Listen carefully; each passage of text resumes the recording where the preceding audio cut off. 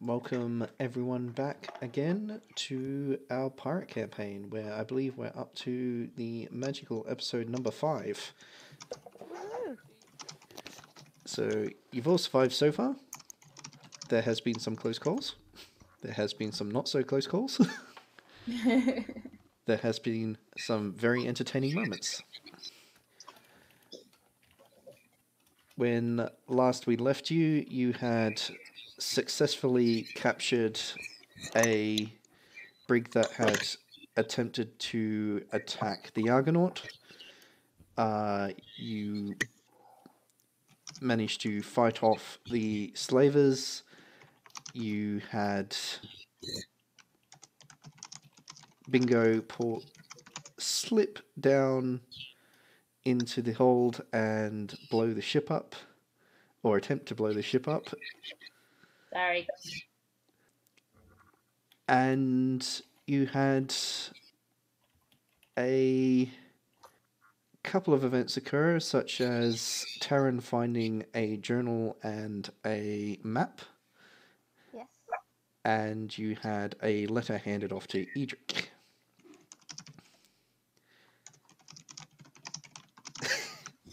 and yes, Edric, uh, you nearly wound up with no boat to be sitting on.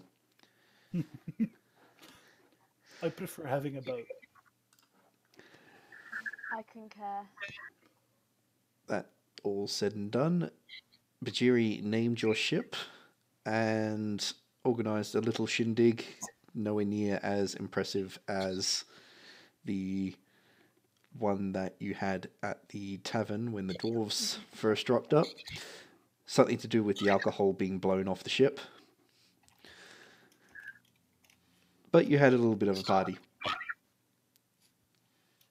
And yes, Bhajiri named the ship the Cirrus. Think I was literally just scrolling up trying to find that.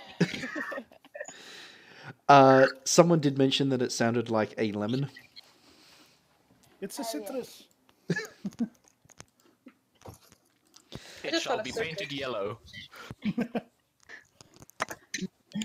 So that's what you've recently been up to as a crew. You got the engines working. Bingo proceeded to not blow the ship up a second time. Yay. That said and done, um, you've got the ship moving. You're on your way to Port Mali, where you are going to regroup with the Argonaut and the captain that first hired you, and find out what the plan is from there.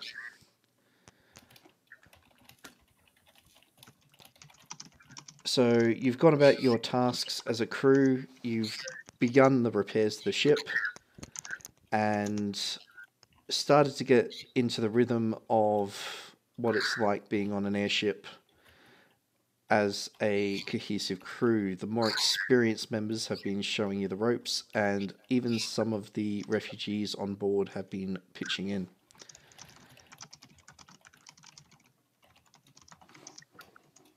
in.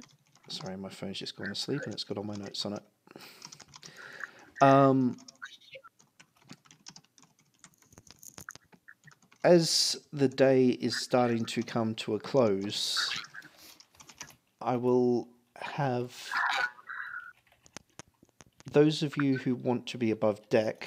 I'm going to presume that some of you are going to be enjoying your time in the armory and engine room.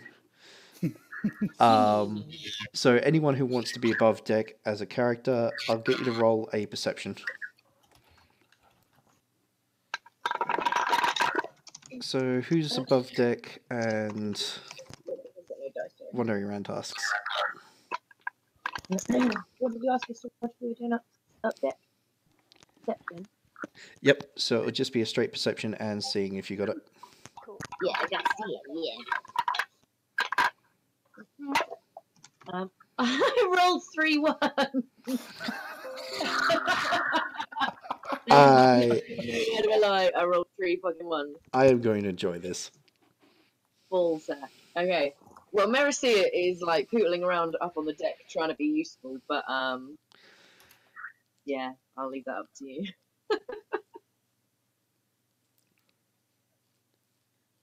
So we've got Hannibal and we've got Bhajiri. Um, I will.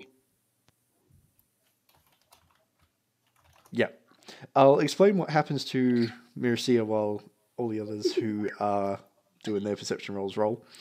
Um, Merrisea, you're running around trying to be as helpful as possible, and Yeah. you were in such a flustered rush, you actually missed that there is some rigging stretched out, and you coat hang yourself as you're running around and literally go flying. um, Not not not off the ship, right? Uh, not completely off the ship, no. You're currently staring at a whole bunch of deck, and not an awful lot else. to the kind of shake her head, you know, cartoon style. Quickly look around and see if anyone had looked. I was I was just testing the rigging, everyone. I just was testing the rigging. Um, it, it's secure. It's very secure. It's, it's wonderful. Good job, whoever put the rigging there. Lovely. Uh, Bhajiri and Tarin, Mhm. you've definitely seen this, and anyone else who's above deck and has rolled higher than a 16.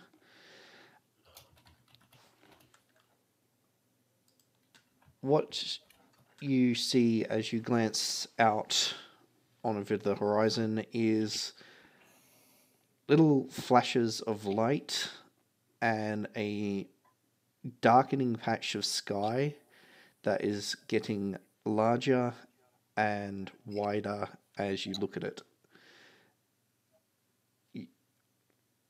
Bhajiri, you know exactly what it is, as you've seen this before. There is an incoming sandstorm. And it looks big and it looks nasty and it is kicking up lightning sparks everywhere as well.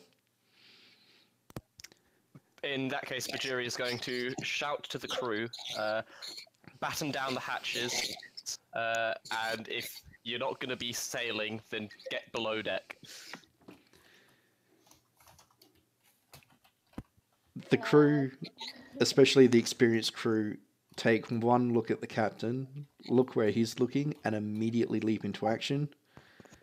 Some of the refugees are a little bit clueless, but they just get herded down below. The crew start coming back up, and they are carrying with them cloth headpieces and goggles, which they start passing out left, right, and center, um, and throwing on themselves. So, all of you above deck will wind up with effectively a cloth overlay to protect yourself and some very well used goggles to protect your eyes. Um, you see some of the crew start pulling out ropes, which they quickly hook onto their belt harnesses, and just read that, Edric. And they start securing anything that's loose on deck, and either getting it down below or getting it fastened and preparing for the storm. Up ahead, you can see that the Argonaut is a absolute hive of activity as well. It looks like they've also seen the incoming storm. The only other thing, Bhajiri, that you also have seen is that ahead of you in your current uh, route is large stone columns that tower out of the sands below and as high as the ships are currently sailing.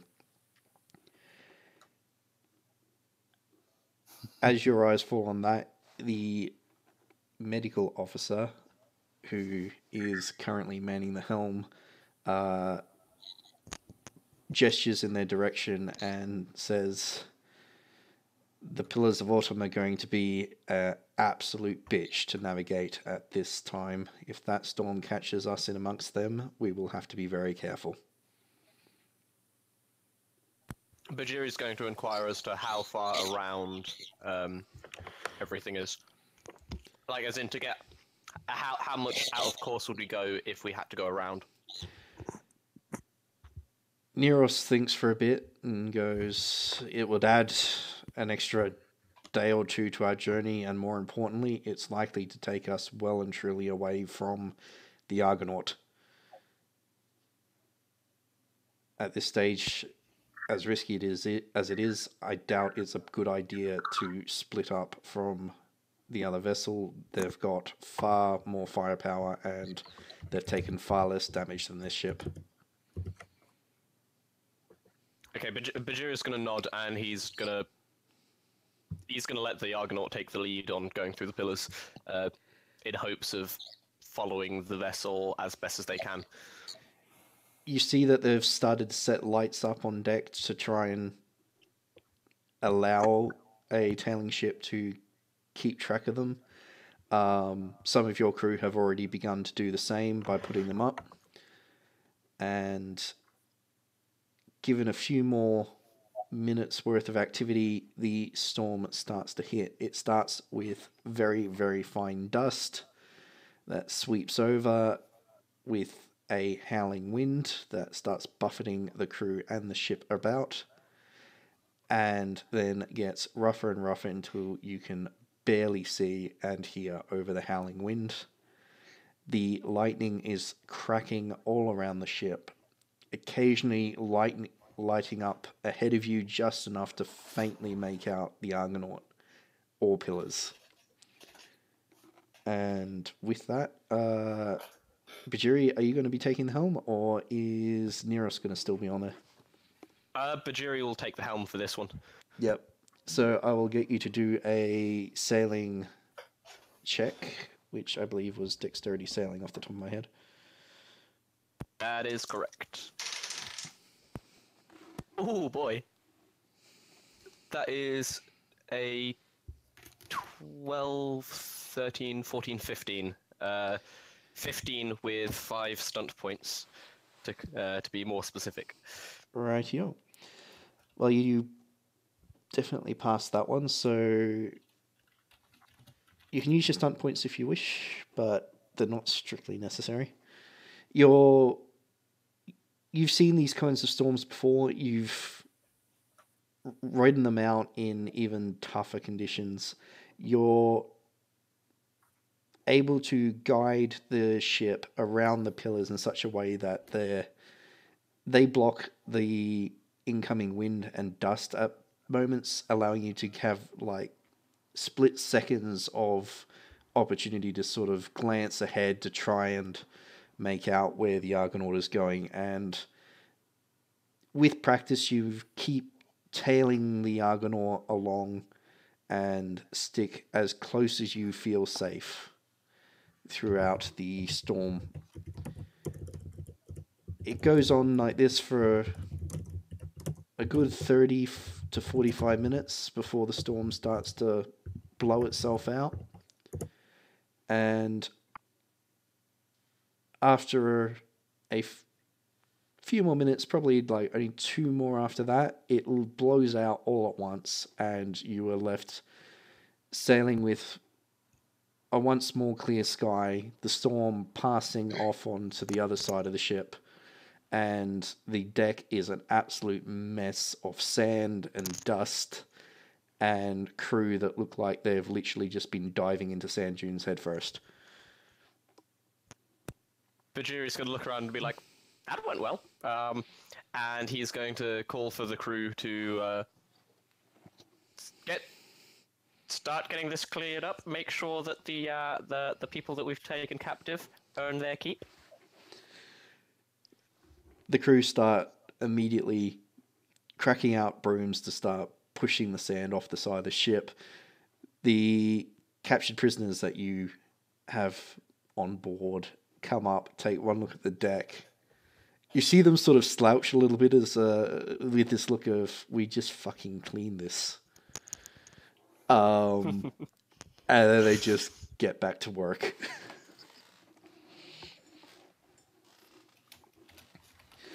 Up ahead, you can Bajir- still make out Bhajiri's the also going to uh, he, he's also going to make sure that they do a head count, making sure no one's just like got dusted off the side of the ship somehow. you do a head count of the crew as they're passing around um, at their tasks. To your best of your ability, it looks like everyone's made it through perfectly fine. You're making double sure that Mercy is not fallen off the ship, haven't you? Oh yeah. Uh, That's fine. I'm just checking. She, yeah, she's covered in fucking sand, but she's there. She's fine, probably. She's still hanging from the rigging? she's got one ankle like hooked in the rigging, just like "I just, I was just checking it again. It's, it, it's still fine. It's fine, everybody. It's wonderful. It's fine. The Argonauts ahead, it seems to have made its way through the storm just as safely, and the path ahead is clear of what looks like any further clouds or storms. Neros nods at you, and goes, That was some very skillful flying, Captain.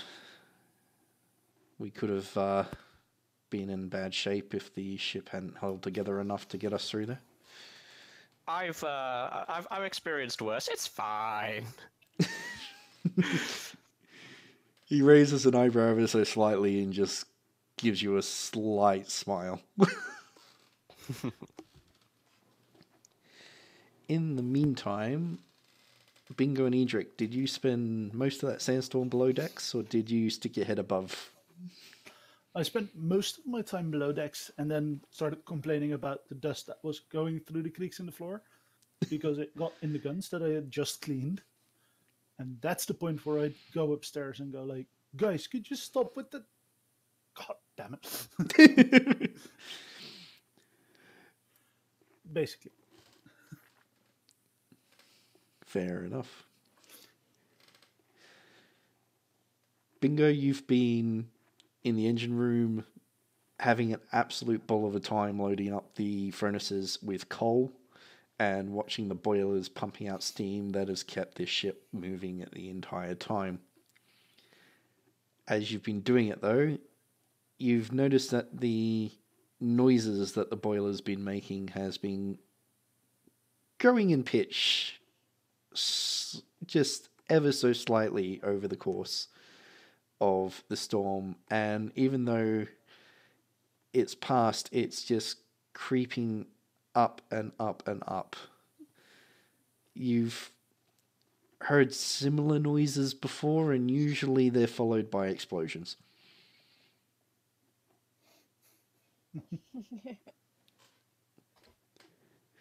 Can i get you to roll an intelligence engineering check me as well? Uh, currently that's Bingo unless Bingo wants to go and grab some help.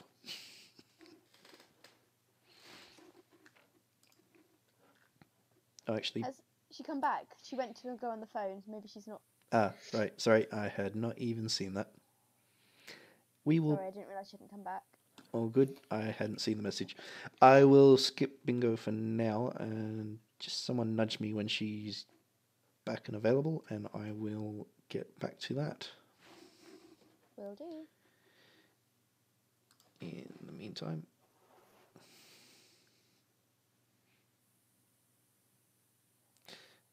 I will skip to that bit.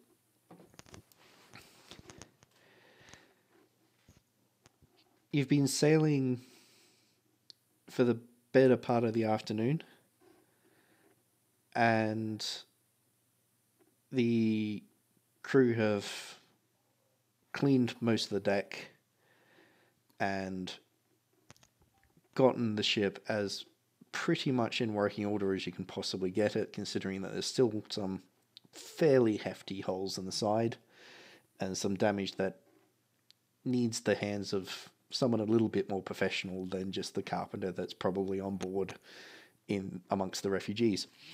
Um, you've gotten into the rhythm of sailing. You've had Tarin cook the first meal of uh, the afternoon without poisoning anyone, unless someone wants to roll a constitution check just for laughs. Um, and the day seems to be getting better.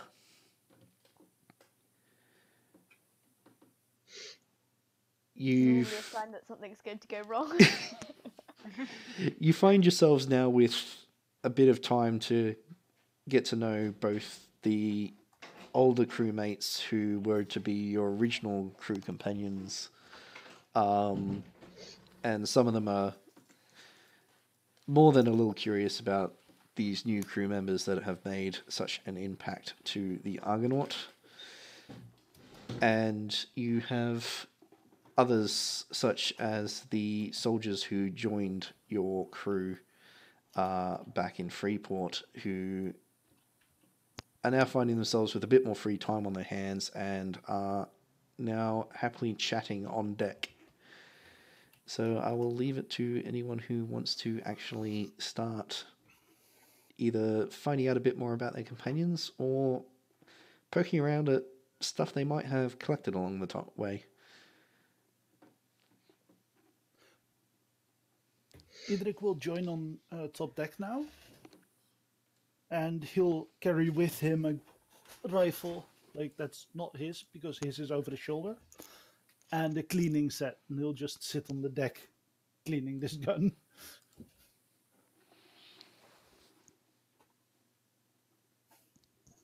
One of the soldiers who fought with you up on the wall gives a respectful nod. I nod back.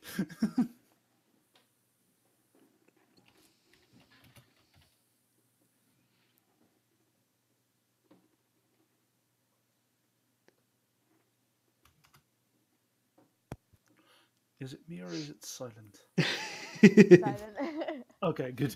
I'm just trying to think. I think Tarin would probably just um, shuffle onto the deck, see everyone's kind of just sort of sitting and chatting, and he'll kind of sidle up to a group, sit down, and just kind of sit there silently waiting or hoping to eventually join in.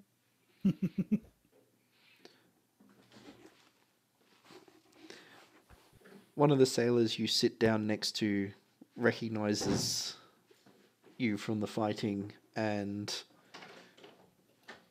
nudges one of his companions. This is the one that scared all those soldiers back up onto the wall. Tara's just going to blush and duck his head. I've never seen anyone get so fired up and get so many men to go back and do their duty. He's to kind of uh, turn his head, smile shyly, and say, um, th- "Thank you, thank you. Uh, yeah." You hear a grunt from the other side of you, and a quick glance reveals it's actually one of the soldiers that jumped off the other ship to join you in the fighting. And he's just grinning despite the mockery and just says, We were getting people out just like you were. That said, Again, Oh, sorry. What? Carry on. Mm, it's like, that said, yeah, the lad did the right thing. And yeah, yeah, he did. Yeah, yeah. He claps Tarin on the shoulder and goes, Honor fighting alongside you. On the clap on the shoulder, Tarin like falls forward and has to quickly shuffle himself back up and um, just just blushes and gets very very nervous.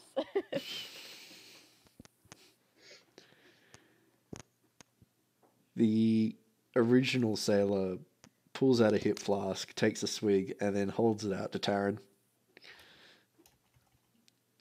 oh, uh, yeah, thank you. Uh, yeah. he takes a big glug and then immediately spits it back out and coughs up a lung. That gets most of them laughing. The soldier parks himself down and looks at you, Tarin, and goes, I know many who have taken up on ships, but what got one as young as you on this vessel? Tarin looks up with really big scared eyes and goes, uh, uh, adventure? the one with the hip flux laughs and goes, "You're gonna find a lot of that with us." Um, Tarin just nods and goes, um, yeah, yeah, uh, I, uh, I hope so. Well, the way you fight, you're not gonna have any trouble. Oh, uh, thank, thank you.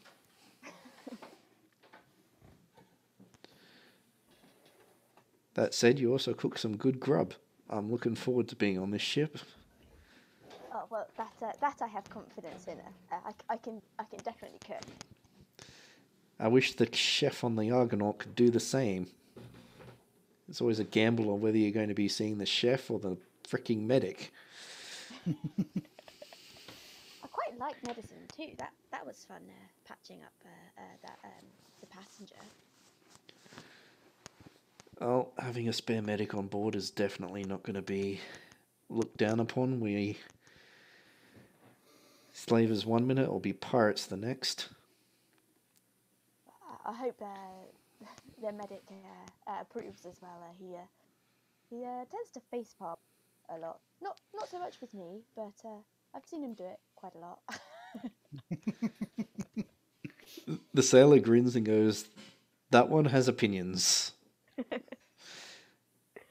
and very, very high ones.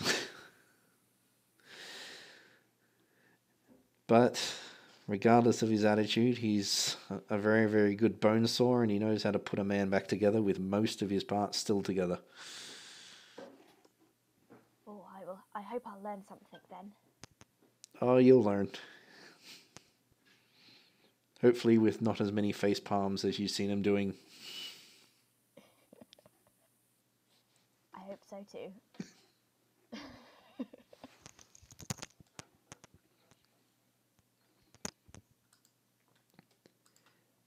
And let me just jump back on here. Yep. In the meantime,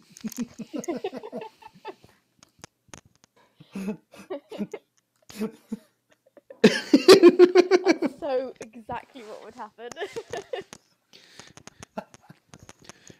Merrisea, the medical officer has been on board with you long enough that he face palms just at the thought of you doing stuff, and it's usually comically timed at just about the same time something happened. Um, was this the same guy that kept face palming when she was trying to sign up for things? It is the exact same medical officer. Oh my god, they're gonna become best friends soon. Yes, but but that'll only be because he's the medic. So whenever you fall and break something, he He's needs the one patching you you up. up. Hmm, suddenly Potentially, potentially the captain could assign uh, Merrisea to him to like shadow him and to learn. Uh, that would be very entertaining. So, he Bhajiri, does want to learn as many things as possible, so you know. you currently know that you've got the gunnery position, at least one engineer in your engine room, and you've got Tarin who's offered to help the medic.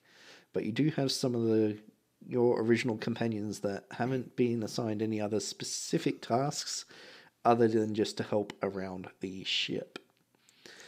Mug is currently below decks and has been helping reorganize everything that had been bowled over by the explosion, mainly due to the ability to be just hauling extremely heavy objects around. Whisp and Merrisea.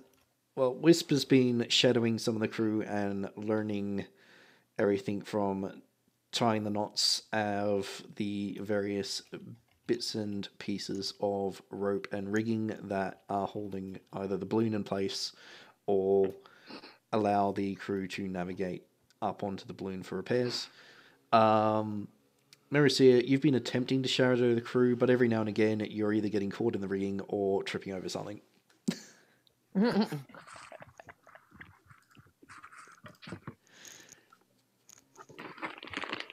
Uh, well, w- um, Mercia's job on the Argonaut was to uh, basically keep inventory, right? Mhm. So, Originally, yes, the Argonaut in its main um, part was meant to be a trade ship, although they left the vast majority of their cargo behind in favor of refugees. Merrisea was meant to be the one managing the inventory of both food, gunpowder, water, and any trade goods they happen to have on board. Ooh, sorry, say again. Uh, my connection dropped for a second.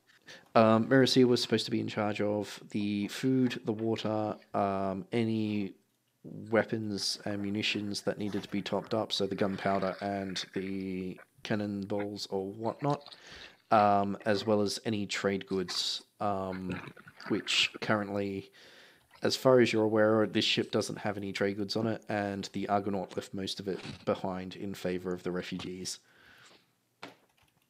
Okay, well, uh, but Bhajiri is going to, since it's a job that Mercy is confident she can do, um, Bhajiri is going to put her in charge of taking stock, keeping inventory, telling us when the food's going to run out and we're going to starve to death.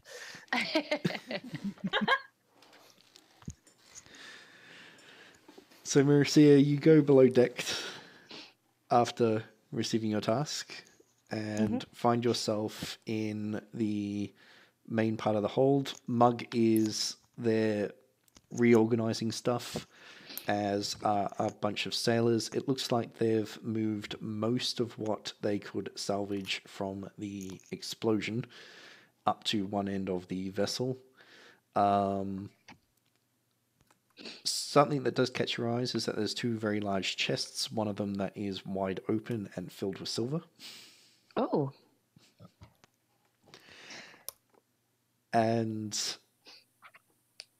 of the remaining cargo, it looks like the vast majority of it appears to either be rations or barrels of what appear to be water.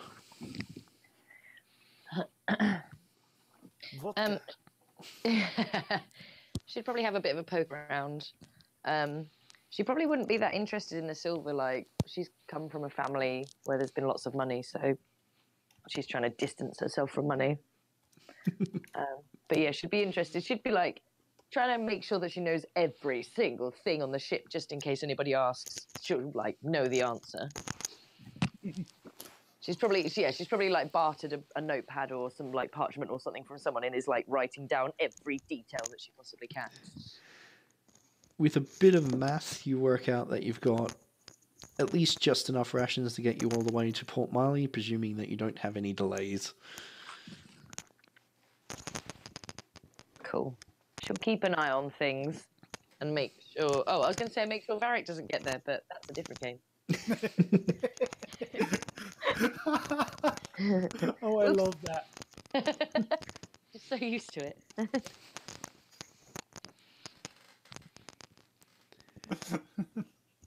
To be fair, Idrik will actually try and find Mercy at some point, as he knows she got that job. And he'd like go, so I took inventory for you of everything we have in the armory. And then he'd just start listing it all from the top of his head. Like, there's this many uh, pistols, there's this many rifles. Um, she's going to frantically try and write everything down and make it seem like she's keeping up. And this is this is totally not too much information all at once. you know, she can do this job. She can do this job. It's it's going to be great. Uh, Is also, she taking like random scribbles at some point if it becomes too much? yeah, just like drawing. Like she also probably wouldn't know what half of the things are that you're talking about. Probably. So she's like making up spellings. She's making like words that are like just one word into three separate words because she just has no clue. like if anybody reads this back, it's it won't make much sense. I imagine. Arquebus is on the list as like R bus, like that. Like a child would write it. and if she draws any pictures, they're not of the things that they actually are. She's like, oh, that sounds like food. Quick, draw food. D- do, do not draw food at the gunpowder. Just one quick suggestion there. They are not spices that should be near open fire. That is a very entertaining thought. Uh-oh. That should or should not be near gunfire, near fire. T- th- there is one other thing that Idrik will mention to her. Like, Mhm. is this below deck by any chance? Yeah. Okay, so Idrik will make sure that there's like no crew around. And he'd go, so you look vaguely familiar. Have I seen you before? Like before the tavern? Oh, do you know? I think, I think you look rather familiar to me too. There's something about that, that big beard thing that you have. Um, but I feel like I've seen you from a painting or something similar, hanging on a, a big wall somewhere. Are you, are you well known by any chance? I, um, me personally, well, no. Oh, He, he will look like very doubting as to what to say, very carefully picking his words. Is it a family beard by any chance? Well, um, I'm not entirely sure on that one. Oh. I see, I think. Do you not have family? No. Oh, oh gosh, oh, I'm I'm ever so sorry. Um, what a dolt I am. Don't worry, don't worry. For Um, a pretty lady such as yourself, I can forgive it. She's going to look completely baffled. Oh, ah, gosh, thank you. Um, lovely. Um, so, uh, what brings you on this jolly adventure? Are you trying to find family? Well, in part, and also, pirates are kind of cool, so I decided to start sailing. Oh gosh, are we pirates now? No, we're not pirates yet. I think. That would be rather fun to write home about, I have to say.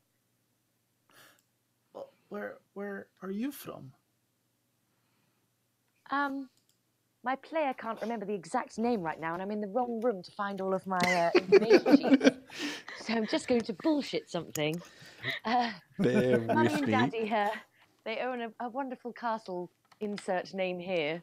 Um, I since it's actually come up, I will message you because this needs to come out at some point. And now's better than ever. hooray! Um, uh oh.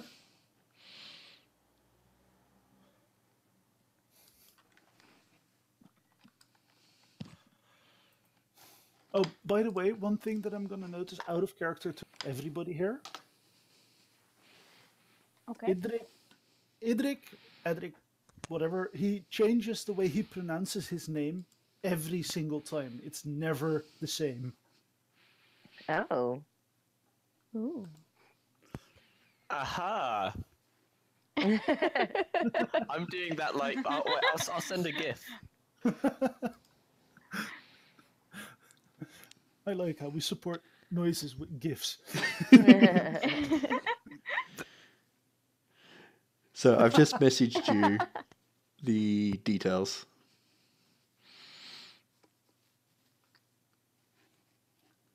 Uh huh.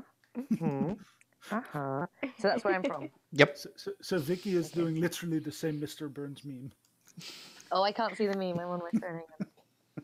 Okay, okay, okay. How do you pronounce it? Ginnereth. Ginnereth. Okay. So, did did you mention that like location to Edric? Um, I'm going to ask a couple of questions, if I may. So, it, it when it says the king and the queen, are they human? Are they elf? Is that mummy and daddy? Like, I can't remember what I'd given. you Uh, those are the leaders of that particular place. Um, Okay. But you would know of them. Okay. Um, lovely. Oh, lovely. Thank you. Um, uh, sorry, Idric, I, uh, I, I went away then. Um, I'm from Ginnereth. Uh, do you know it? I've heard of it before. Oh, it's a lovely place. Um, Mummy and Daddy have got a lovely castle in the woods.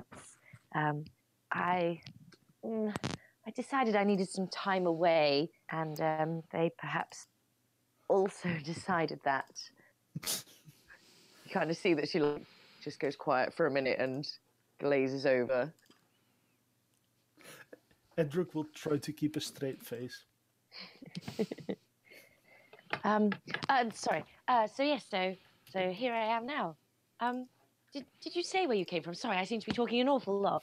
D- don't worry at all. I quite enjoy the conversations. So, um, I'm I'm of nowhere actually, but be- before that, I used to live quite a lavish life somewhere else. So you're of nowhere, but have come from somewhere. Yeah, if that makes sense. Not particularly, but it's all rather mysterious, isn't it? Um, where was the somewhere that you mentioned? Um, well, I don't know if you've heard much of it. And what I'm going to tell you is very, very, very, very important that you tell nobody. Uh, I'll make sure I don't write it down in my notebook. Go on. I, well, I, I used to live in a little place called Becaire. Does she have a glimmer of recognition across her face?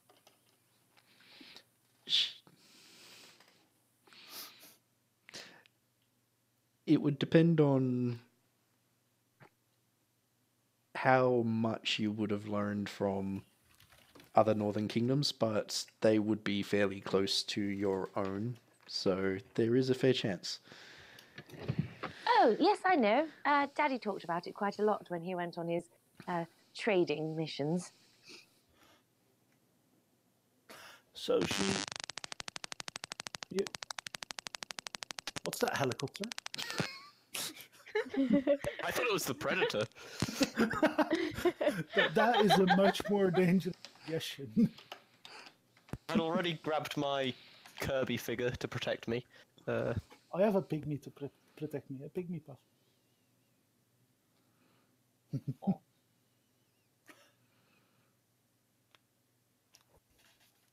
I have no idea what that was.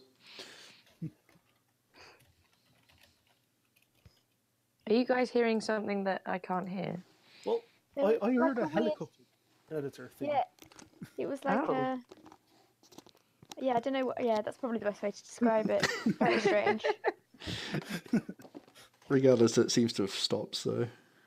Yeah. Someone murdered it. Okay. I apologise if it was me. I'm currently Um, sorting out tights, so I don't think it was me, but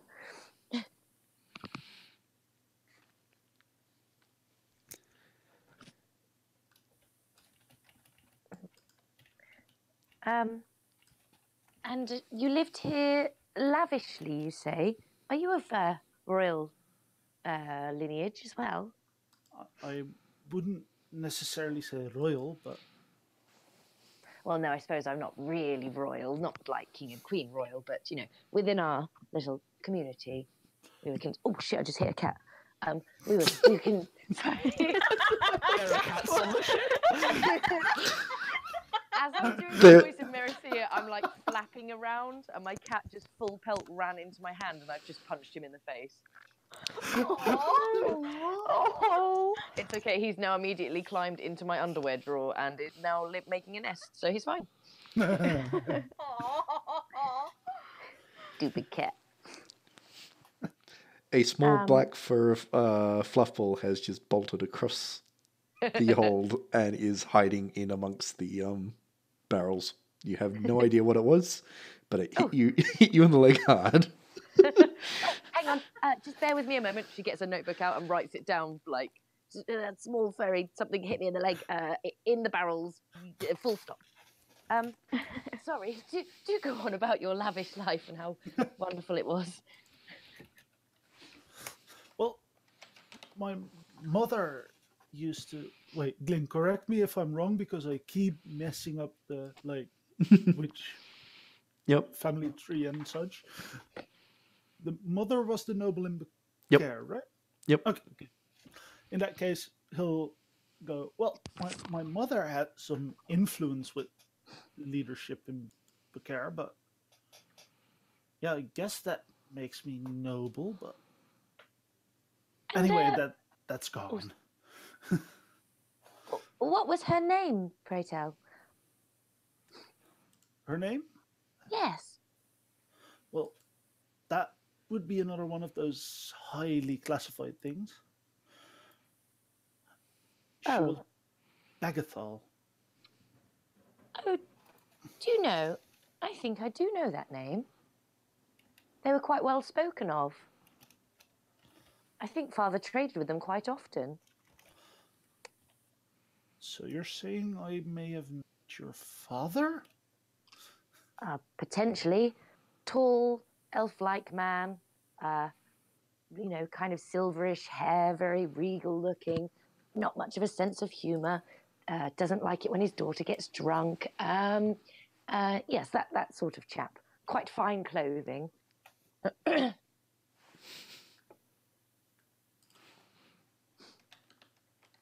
Well, um, I may have.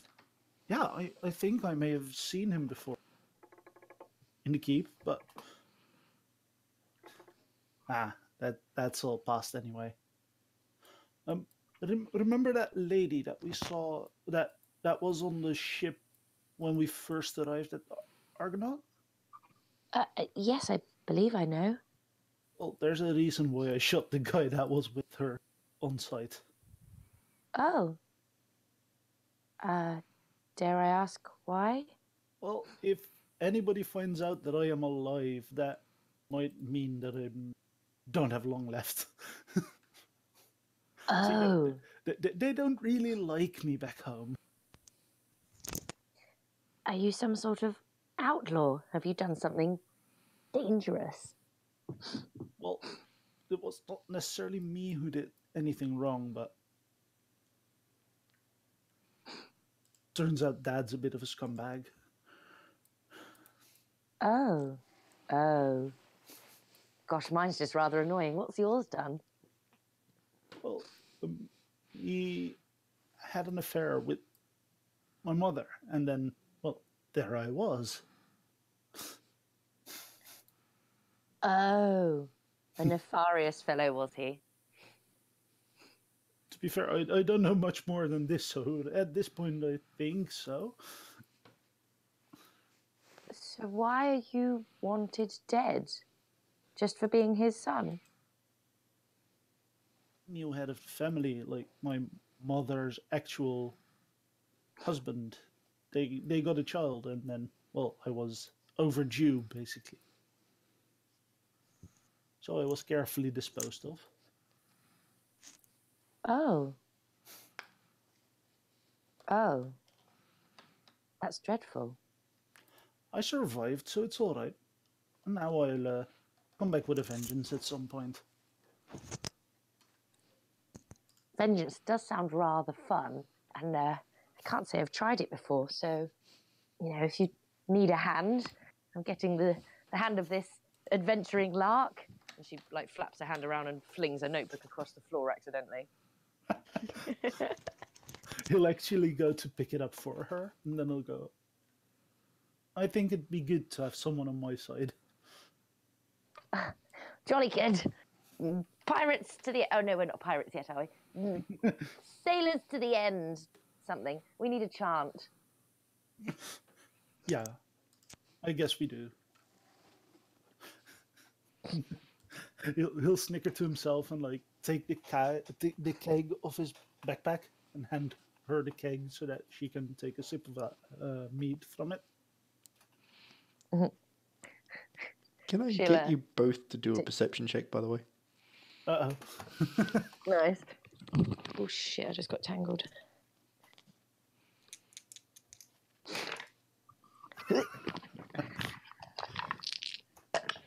uh.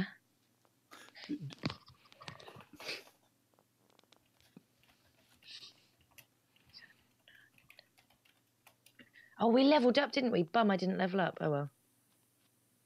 Wasn't it after this? Yeah, it'll be after the session. Oh, we haven't leveled up yet. Yay! Uh, six, seven, eight, nine, ten, eleven, twelve. So thirteen for me. Right, Edric, you hear absolutely nothing. Merrisea, you hear purring come from over near the barrels. Coming from where? Sorry, you cut out. You hear purring coming from over near the barrels. Gracious. I wonder. I wonder what our cargo's doing. Uh, I will go over and have a look at what's going on. Did she say what our car- cargo is doing? Did I? Yeah. Did, Can you not hear the strange noises what strange noises? in here? Look. And goes to where the purring noise is.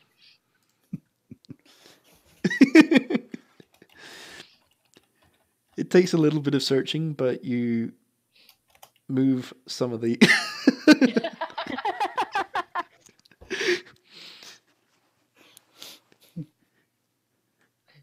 you, you move some of the barrels out of the way, and you find amongst that a small black kitten. Oh, oh my god. Um, She is overcome with absolute joy, but then stops herself and is like, no, no, job first, job first. Finds her notebook, puts a little correction next to the, the small black blob notes, and puts kitten. uh, then puts the notebook away. oh gosh, uh, Edric, there's there's a little kitty cat down here. She would like to attempt to pick up the kitten, please. The kitten doesn't offer too much resistance.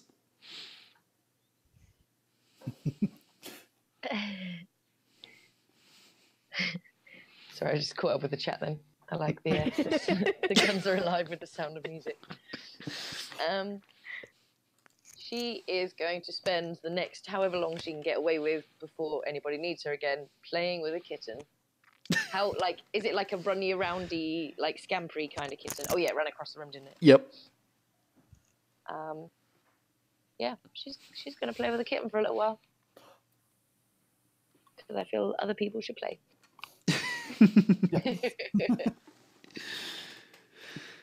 Right, yo. Um, Bingo's not returned yet, so I will pass on that and then take us up to. So it started to get dark. Some of the crew have slipped below decks to make themselves comfy and get some rest. Aw.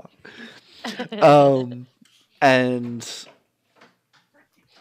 the medic who is stepping in for the chief officer is has sort of put together a bit of a roster of when people should be up and working and when they should be sleeping since you kind of need at least a partial crew around 24 hours um, those that are well and truly into their rest are heading down below. The rest of you go about your tasks, and everything seems to be chugging along fine. Um, I love the cat giving the sound effects. there is a sound coming from below decks that sounds an awful lot like a kitten playing. Um, the night rolls in, you see the lights still up ahead of the Argonaut, um, and all seems well. Well, some of you eventually get tapped on the shoulder to take watches just to keep an eye out for potentially any other ships or anything else that needs to be taken care of. So the order of the roster, I'll actually leave to Bhajiri. You'll need four volunteers to do a rotating ro- watch across the night. Okay, well, conveniently, um, is aware that Tarin in in their first battle, Tarin seemed to be quite a good spotter. So Tarin is the first person uh, who he's going to ask, and he's not going to order at this point because he's going to ask just to make sure that that people are comfortable with the whole stressful situation that they've all been in. When asked, Tarin's just going to look at him and go, "What? What do I need to do? Sorry. uh, what? Oh, what uh, does that entail? Just just keep watch, make sure that no big ship decides to come and try and kill us. Just the just the usual. Oh, uh, uh, uh, yeah, I can, I can do that. Yeah, yeah, sure, sure. Good. I'm, I'm, I'm trusting you to do that. And he gives Tarin a, a, a pat on the back, um, want, wanting them to be more confident. And then for the other three volunteers, he's, he's going to ask if anyone on the crew wants to volunteer. Just for pure entertainment, can Flaley McFlaley be one?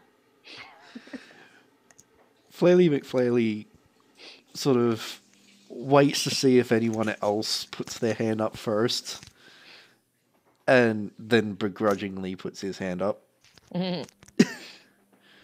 But Bhajiri's going to like gun fingers to him and be like, "Good choice. I was going to pick you next, anyways." I just love the idea of Bhajiri doing gun fingers. Flaley's shoulders sag just ever so slightly at that.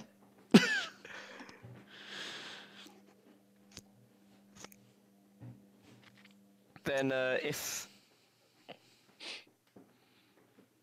he's go- uh, Bhajiri's also going to take one of the watches himself, and he'll suggest Whisp uh, for the which, whichever uh, watch they choose. Yep. So, Happy. with that sorted out, most of the crew start to go and get some rest. There's a couple of them still doing the tasks that need 100% maintenance all the time. So there's someone in the engine room at all time. It will be either bingo or someone lending a hand. Um, and there's someone always up on the helm steering.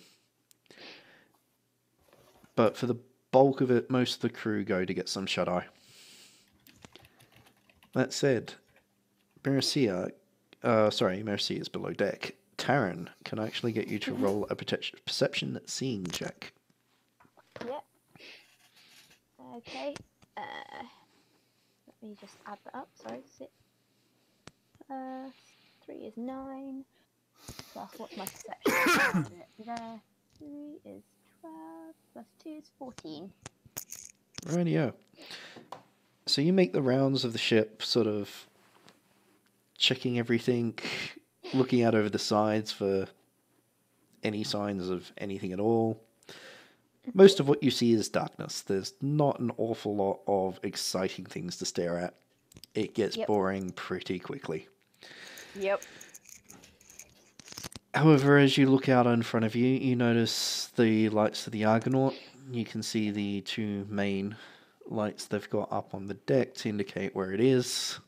Mm-hmm. You also notice a smaller, fainter light that's below them, roughly where the cabin, or at least the captain's cabin, might be, and it's flashing. Ooh. Does Tarin know if this is normal or not? You can't quite tell, but it doesn't appear normal. As far as you know, the the lights on your ship haven't been set up the same way as that. And you presume that the both crews would be doing the same thing. Yeah. Okay. Um, and I'm assuming at this point everyone else has gone to sleep and is below deck. Most have gone to sleep, yep. Okay. Is there anybody I could flag to go and catch the captain for me? Or like flag him down? You can't really see anyone on deck. You do know that there is a sailor that's up on the helm, but he is currently still guiding the ship following the Argonaut. Um, there's no one else up on deck among apart from them, and you're not sure how many below deck might still be awake. Okay. Um, so Tarin's going to be a bit flustered, not really sure what to do. Thinks it's worth letting somebody know, obviously, just in case something's wrong. So he's going to do that thing where he goes to tell him, and then he goes back to his position because he's not sure if he should leave, and then goes to tell him again, and then goes backwards and forwards a few times whilst deciding what's the best course of action. Eventually, he decides that if he's going to go tell the captain, he needs to do it quickly. So he legs it to the captain's uh, quarters uh, and like knocks on the door and he's like, "Captain, captain, captain, captain, captain," until Bhajiri opens the door. Bhajiri is like he, he's up very quickly. Door swinging open. And just, is something the matter? Are we getting attacked? Uh, no, but um, it's just it's a li- it's a, a little weird, I think. Um, from what I can see of the Argonaut, the the captain where the I think the captain's uh, room is, it's the lights flashing. Is that is that normal? Um, as in, uh, what sort of flashing is it? Like a flash, flash, flash, long flash, long flash, long flash sort of dealio, or just but Bhajiri's gonna just like walk out and like walk up deck and and have a look. Tarin's just gonna follow after him like um. You make follow along in hopes of finding something out. You make your way back up to the front of the ship, and sure enough, Bhajiri, you know notice the light straight away, and you also notice that it makes no logical sense for a light like that to be flashing on the ship. You are almost certain it's a message of some sort.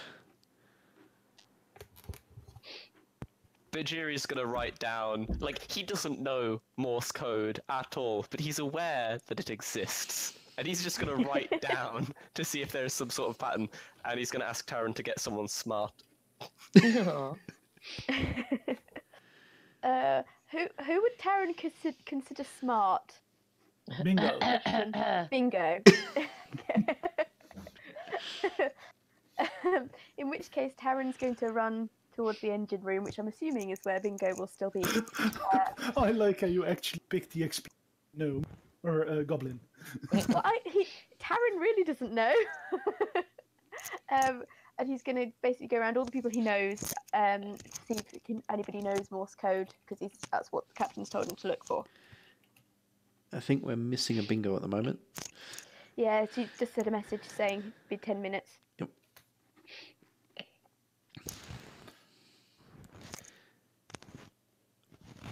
One of the soldiers sort of grumpily wakes up, but at the mention of code, shrugs and goes, I could see if it's a signaler from Freeport, but if it's not, I'm not going to know it any better than anyone else. If it's a code, you need to know what the code's in to know the answer. Okay, in which case it's going to suddenly occur to Tarin that he's going to need to find somebody who knows the, the captain of Ar- Argonaut. So he's going to go. I can't remember the what's the face palming elf's name. So, Miros tail feather, right? yep. Yeah. Oh wow, you remembered it. well done, you. Very good. This is he's why I gonna don't go- make notes. Yeah. He's going to go just so find did. him. Neros raises an eyebrow, but nods and heads on over to where Bhajiri is standing and looks out at the Argonaut. He's initially not saying very much, but he is studying the light very hard.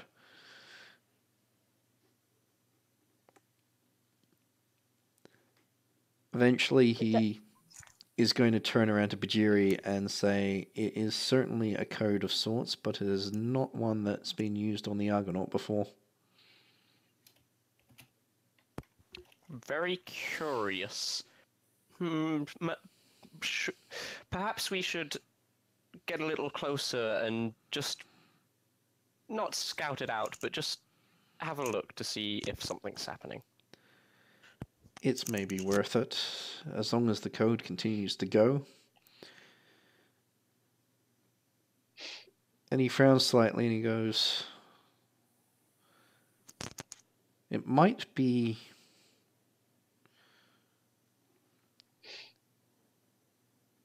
If we only we had someone from Bacard on the ship, we might be able to decipher it from here. The only other person I could think of that's in that cabin would have been that girl that came on board.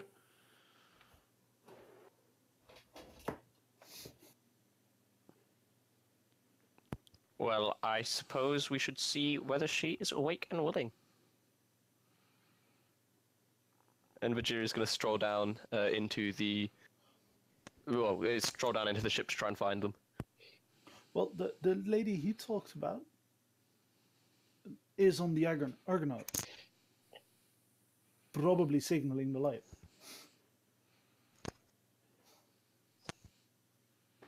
So uh, maybe Tarin thinks of Merrisea or something to go and get her, um, because she's different from some, obviously from somewhere different. Goes to get Merrisea, um, and asks if she's from Bacard. And um, hopefully Merrisea might say something.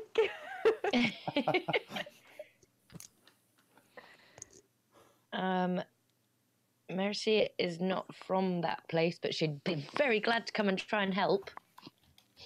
of course she would. Super helpful she is. You would have no fucking clue what she's doing, but she would jump at the chance.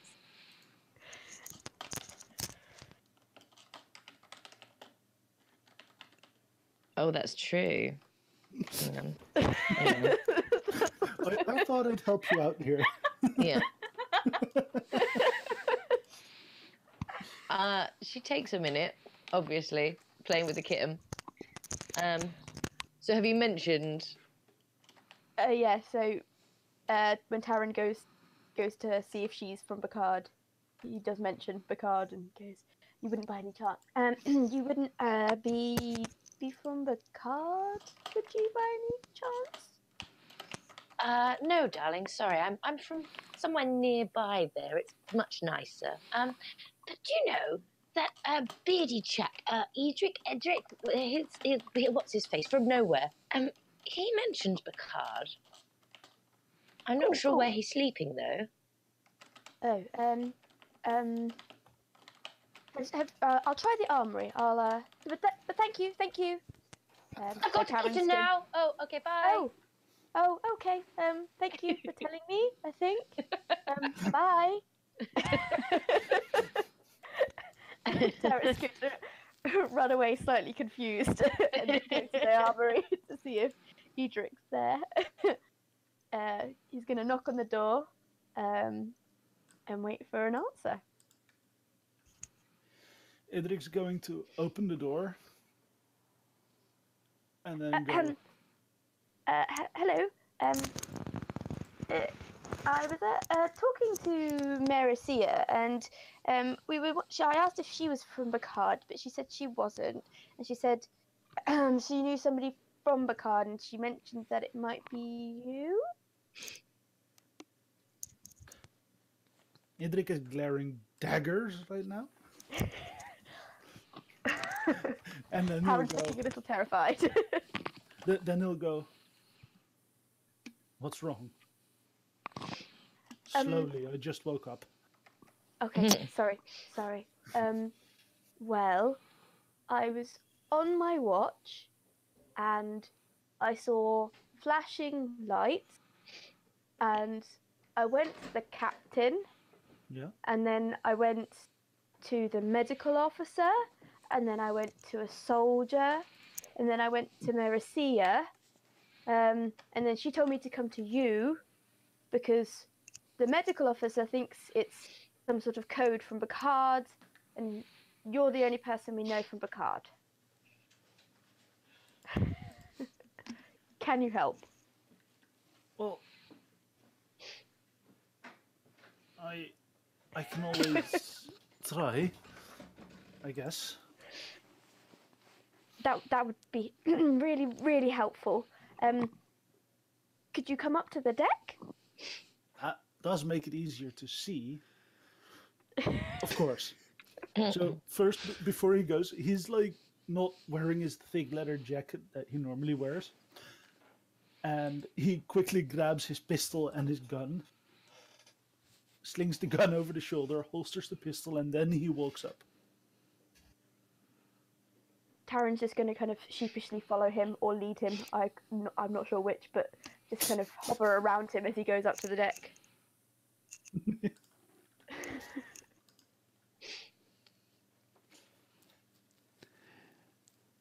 As you get up on deck, you see that the captain and the medical officer are both standing up the front, looking out towards the Argonaut. Following their gaze, you do see the light flash a couple of times and then it goes dark.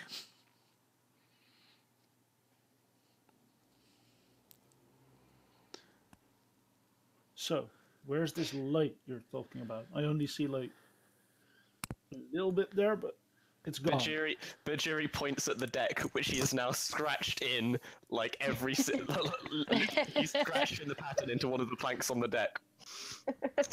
Lit every single one from when he's been up there to now.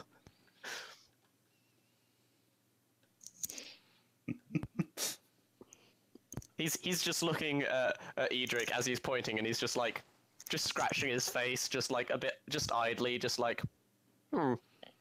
I mean, Okay, so. And then he's gonna turn his gaze to the code and try to decipher it, I guess. Yeah, roll a communication with advantage.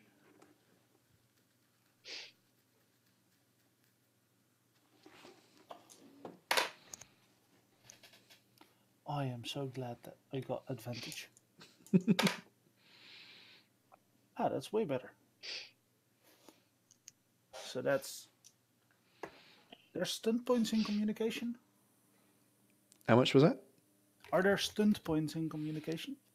Um, you will be able to do a roleplay stunt where you can, off the top of my head, use a focus that you don't currently have.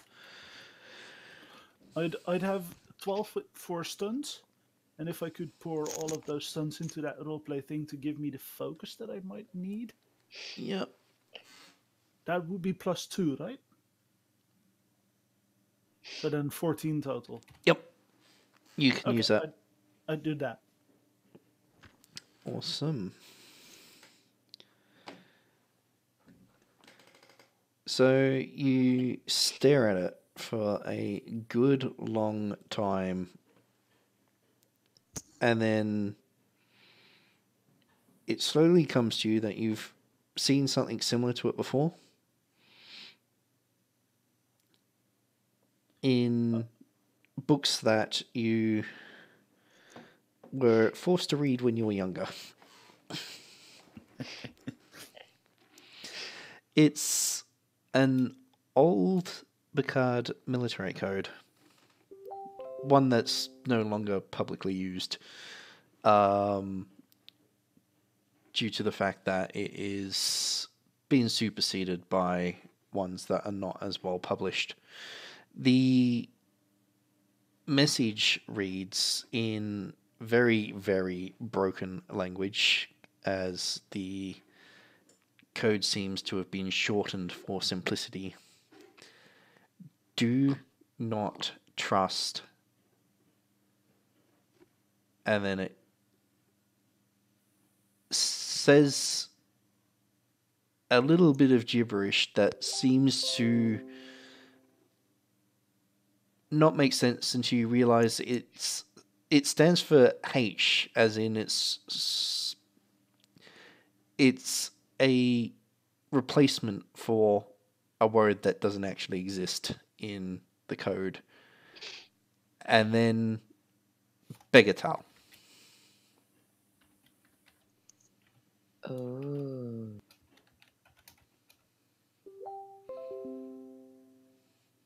Something like that. Yep.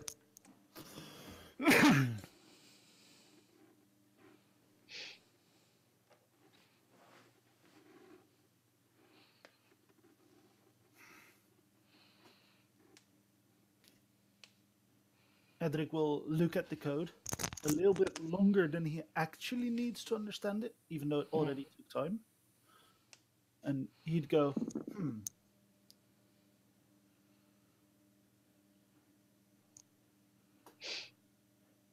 something about not trusting some because this word is trust and this is not that's what he says out loud to everybody around him The medical officer raises an eyebrow and looks back towards the Argonaut and frowns.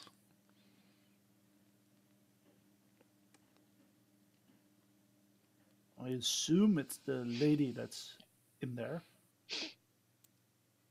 And I would find it very interesting in who she does not trust. When we get to Port Mali, I'll have a chat with the captain. i think i'll have a chat with the lady I would like to accompany you with that chat with the captain, uh, just so that we uh, get some get extra perspectives on it. The medical officer Neros nods.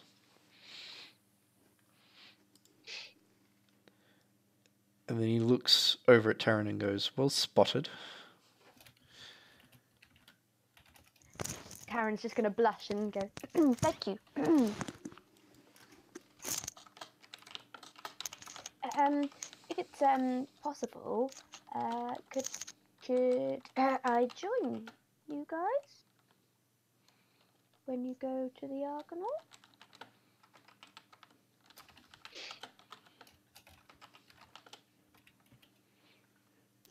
Neros glances across at the captain and just shrugs. Your call, captain.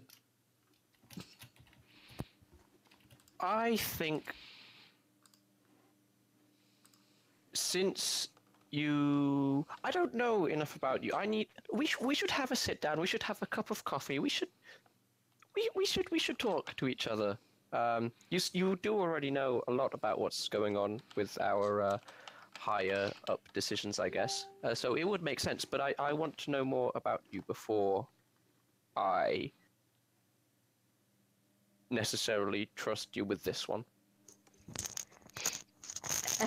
Tarin just kind of um, swallows and looks a bit sheepish and goes, "Mm, um, um, okay.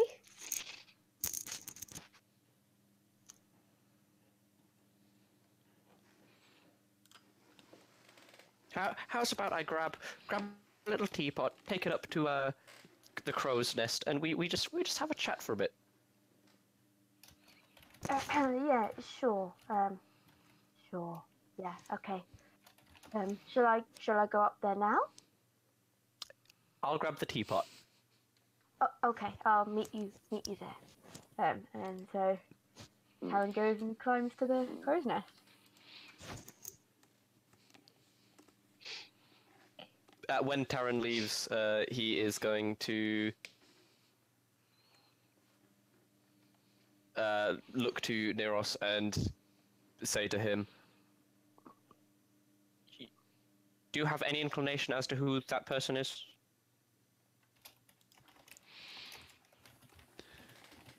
Neros is gonna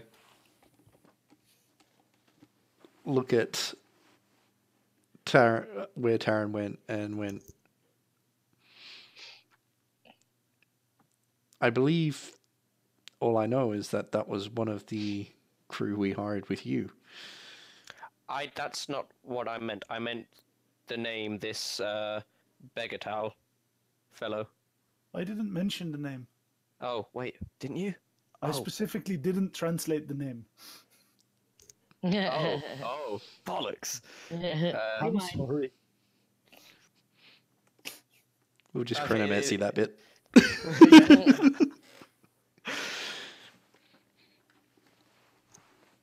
S- In, in that case, I'm gonna not write that name down in my notes. uh, so, any idea who who it might, who this person could be that we should not trust?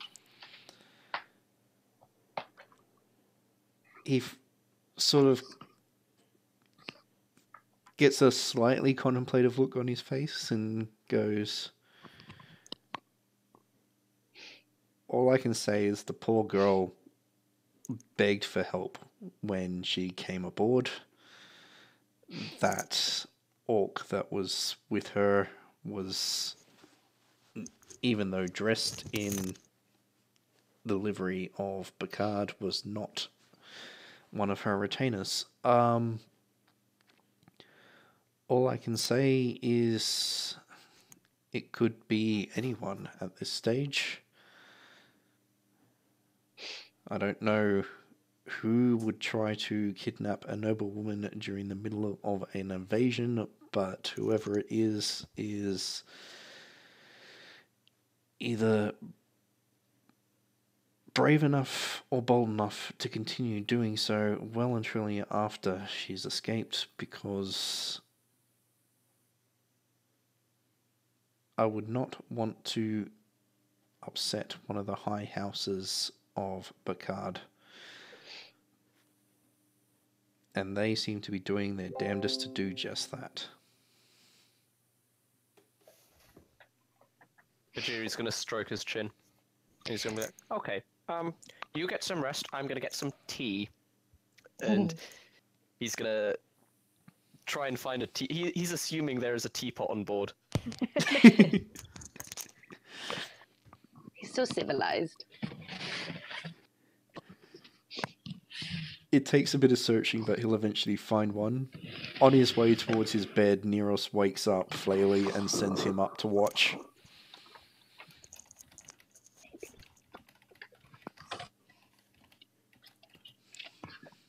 Excellent. Okay, so um, I, wait, but if Flaley is on deck, Bhajiri is taking this opportunity to learn his name.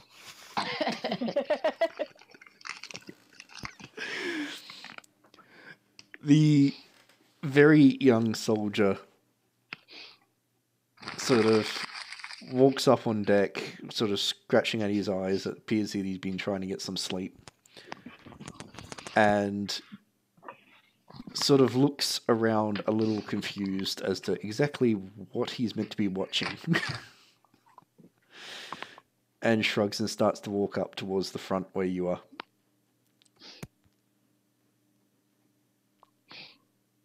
I, uh, Bhajiri's just gonna like lock eyes with him, looking up as as he has to do as he's so short. And he's gonna be like, "I've not learnt your name yet, and that is ve- very bad of me. What is your name?"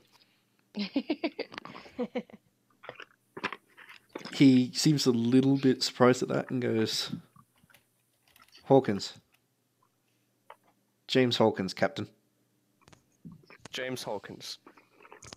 You're doing well, kid. And he's gonna pat him on the back and leave him on lookout. Uh, uh, he's Bhajiri's got like a teapot in one hand. he's, he's carrying the teapot with his tail. with like some some cups and saucers in one hand, with uh, like, like in both of his hands, and he's gonna pat him on the back with one of his feet. Let's just keep going. Fuck yeah. He just scratches his head, sort of watching you go, and then turns to just lean on the railing and stare out out the front of the ship. Hey, that's where I am as well.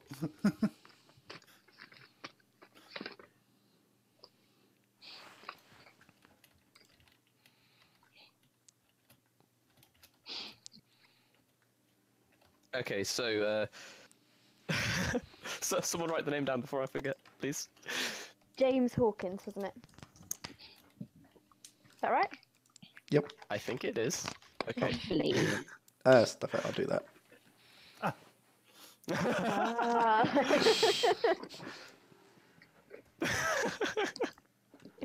okay. Uh, oh, Bhajiri's gonna join Tarin in the crow's nest. Tarin's been sitting there waiting. for like ages. uh,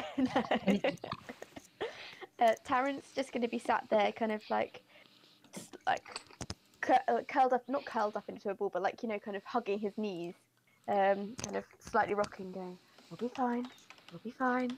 We'll be fine. We'll be fine." like that. Not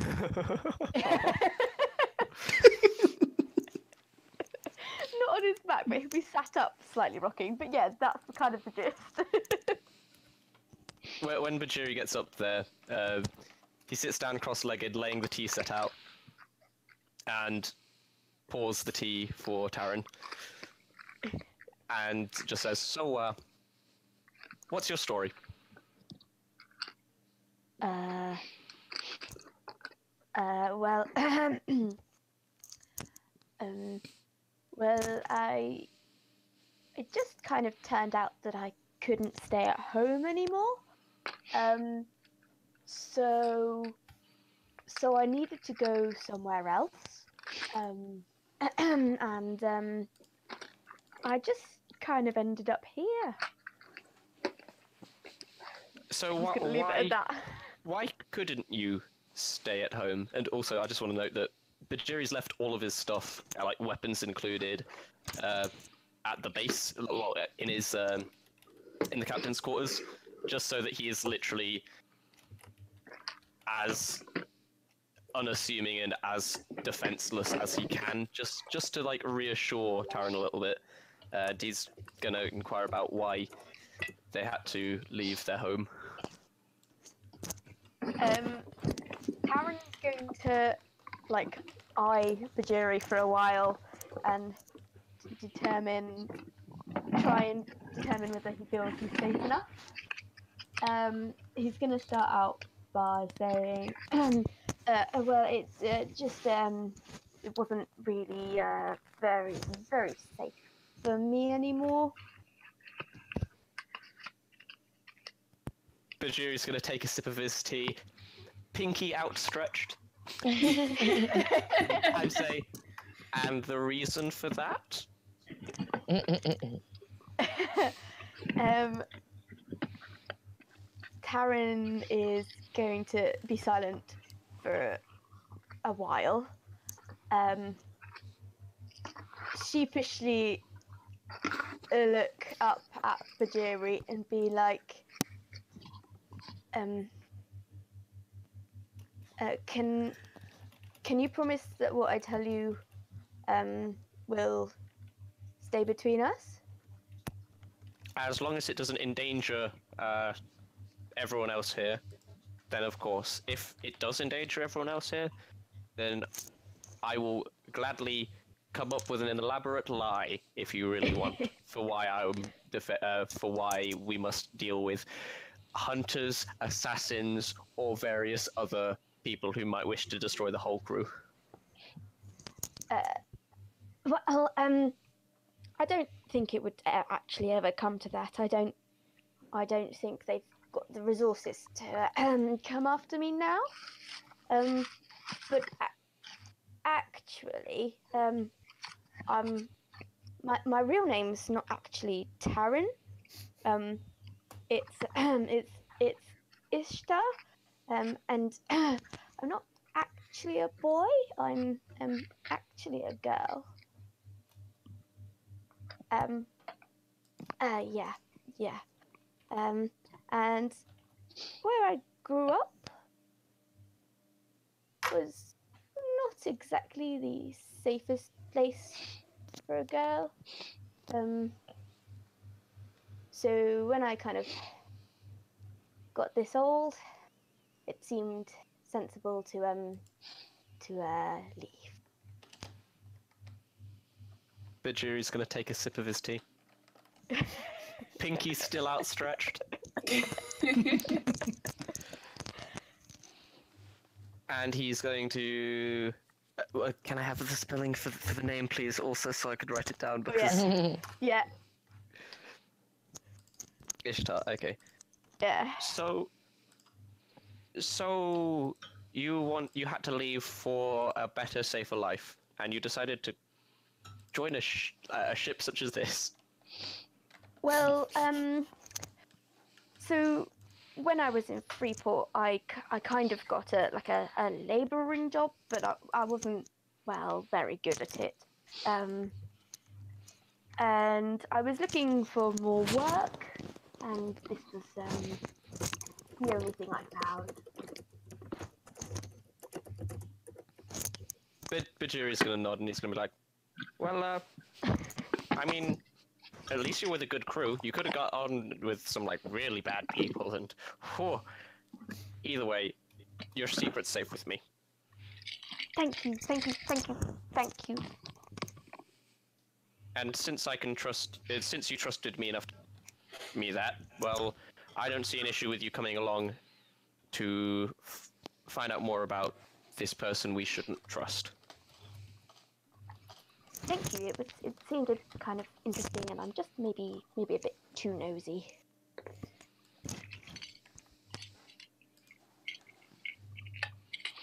So, so, Um, sorry, I missed everything there. My sorry. Discord cut out. That's fine. Tarin was basically darn just saying, oh, sorry. Ishtar was basically just saying uh, that she basically was just being nosy and that's why she wanted to come along. That's really the only reason. but Jerry's gonna, gonna chuckle and just be like, "Yeah, I can't blame you. Like, I, I want to know what's going on." Um, but this, I, I would want to discuss. Um, what what do you think of this, our gunnery chief? Um, but he he seems nice enough. Uh, I mean, I, I wouldn't want to be fighting him. Um, because he's kind of scary with a gun.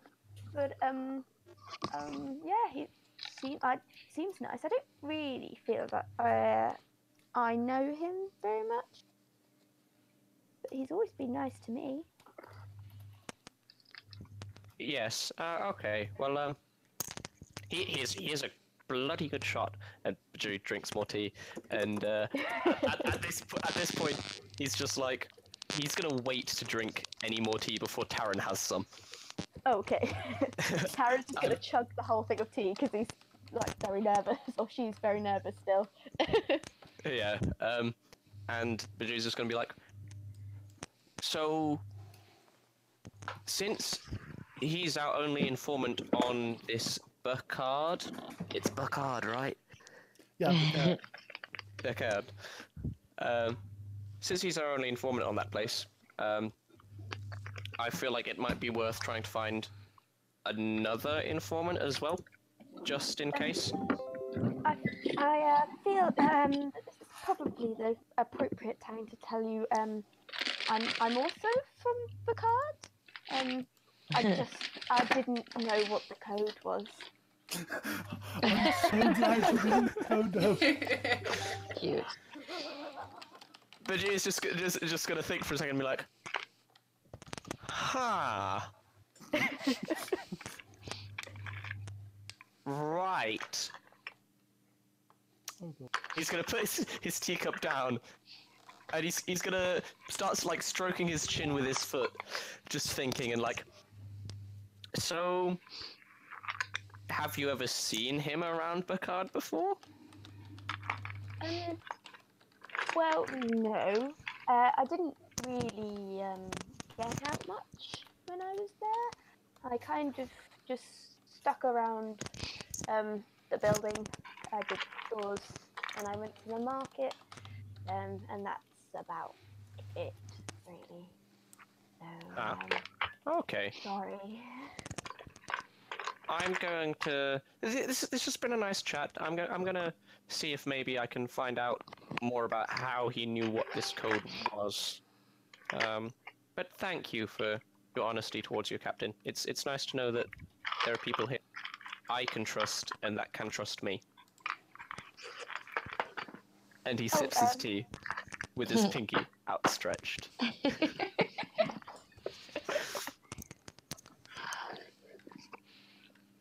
Brilliant. Uh, yeah, I, I, I'm going to trust you too, if, if that's okay. Did, did, did she just ask permission Completely to not trust? socially aware, by the way. Sorry. I had a feeling.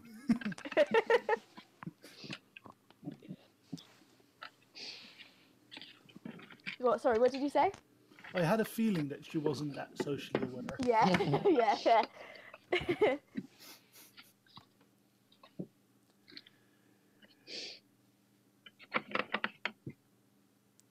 at this point, Bhajiri, you kind of realize that you've run out of tea. Bhajiri gasps.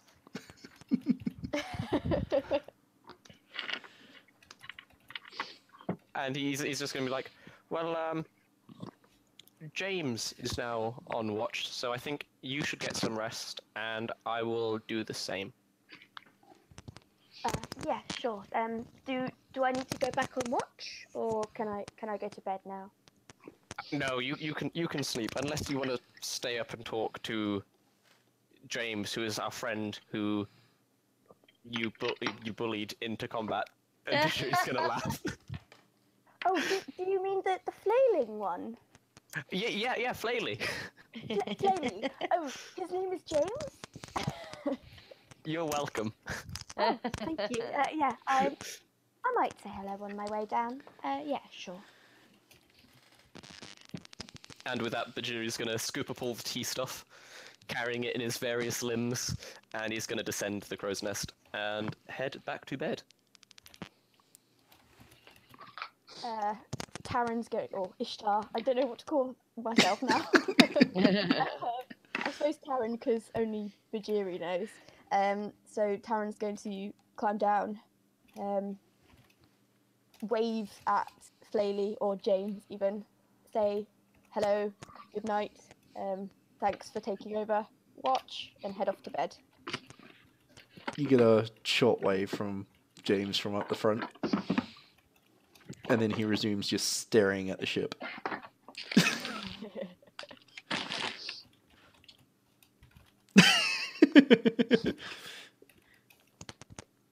That message is directed to, to some people in particular.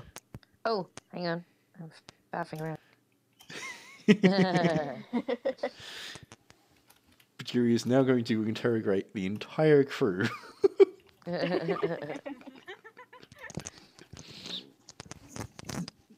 The rest of the watches seem to go about as boringly as you can expect when the only thing to stare at is the ship in front of you. And night turns into day.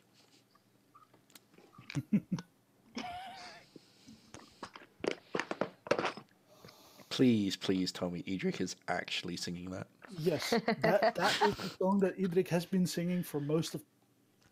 It's a, it's a folk song from where he comes from. Yep.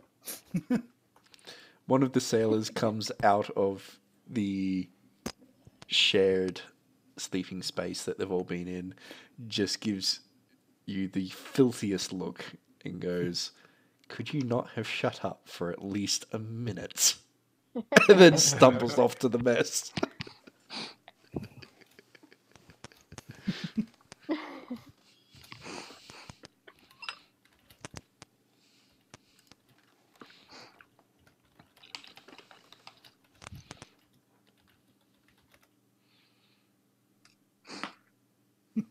Edric will actually keep humming the song as he walks to the mess hall.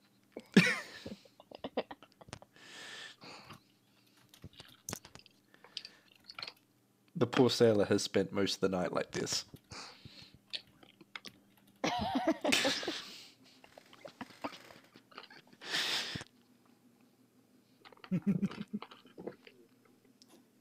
and as soon as one of his companions starts humming along with you, he thumps him.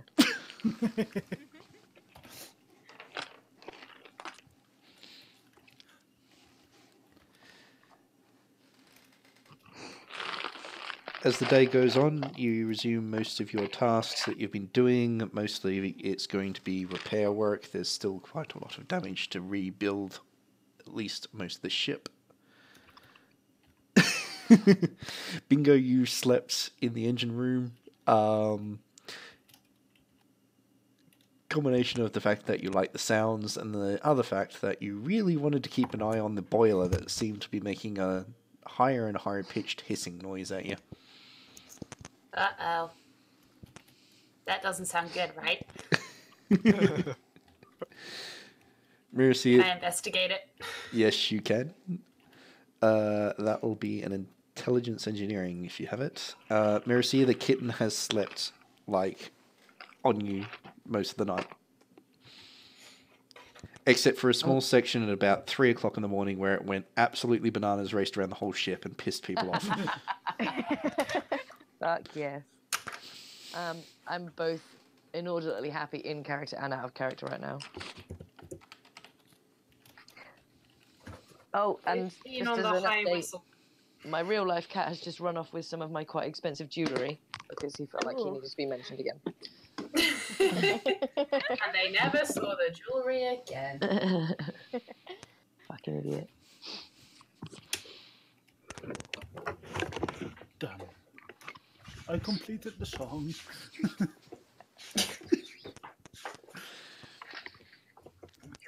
Uh, 15 was it? 15 from me, yes. You recognize the sound. You've heard it before. Usually not too long before an explosion. Uh oh! Uh oh! You've Uh oh! looking at a couple of the dials, it takes you a little while to work it out, but you realize that the pressure in the boiler is just going up. It's not actually bleeding out through the engine like it's supposed to. You guess that if you don't get some help and get the boiler repaired, that you're going to have to slow down to ease the pressure off the engine. Fiddlesticks! Hmm. Okay. You reckon you've got probably an hour at most before the engine decides to give up. Okay. I will run upstairs and find whoever I think would be most appropriate to help. Help! engine exploding! Engine exploding! It's gonna go boom and not the good kind of boom! A whole bunch of the crew on the ship watch you bolt out, stop what they're doing, and immediately start panicking. What did I just say? Bhajiri would like to facepalm.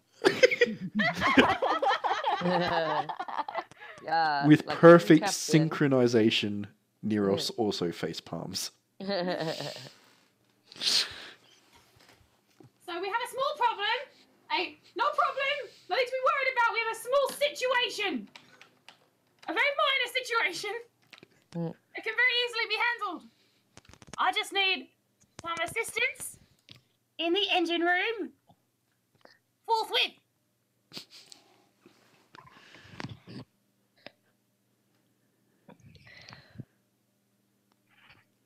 And I will say that to our captain. And anybody else who is on deck as well. Hmm. Bhajiri's just like, right. Um, I'm gonna go down there, and I think uh, gunnery chief. Yes, of course, Captain. You, you you could deal with explosions as as as as well, quite well, right?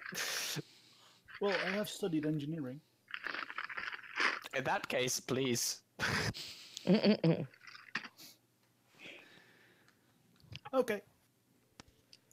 I'm just gonna like march along. No cause for alarm, no cause for concern. Nothing at all. It'll be fine. Um, Bingo, can I get you to roll a communication check? Oh no. I'm not so good at those. Give me a minute. If you roll three ones, you're gonna yell out boom instead. Okay. Communication. Oh, no, not as bad at that as I thought. Eight. As you start to make your way back below deck with the captain and the chief engineer, you notice some of the sailors have started to pull up the um, small little sloop that sits on deck um, as a both a shore and exploring boat and also an escape vessel, and they are getting it ready. They have zero faith right now that this ship is not going to go down in a ball of flame. One of them is rushed up to the front of the ship and he's signaling with flags like mad. Well, that's just rude. We're all going to need more optimism than that. Baj- Bhajiri nods in agreement and is like, "Am I- they're right. Uh, yeah, we should be optimistic about the situation. It'll be fine. A couple of them look at B- you, Bhajiri, and they don't know whether to continue prepping for an evacuation or to just wait it out. They seem to be sort of just edging the um, small boat to the edge of the ship and just waiting to the last minute. Prepare for an evacuation, anyways. Make sure the civilians are there first. So. And I'm underage, so I count as a child, so I get to go first. Not until you fix the engine. Right, Roger. I'm not Roger, I'm Bhajiri.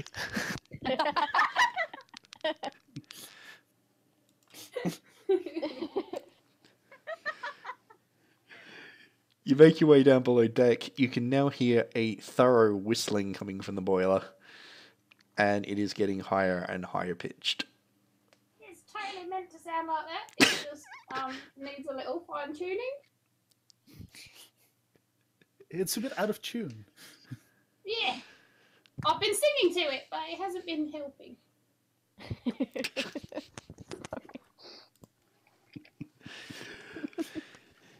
Um, for those going to fix it, I'll get you to do uh, intelligence plus a uh, engineering. Oh. I accidentally managed to brain. There's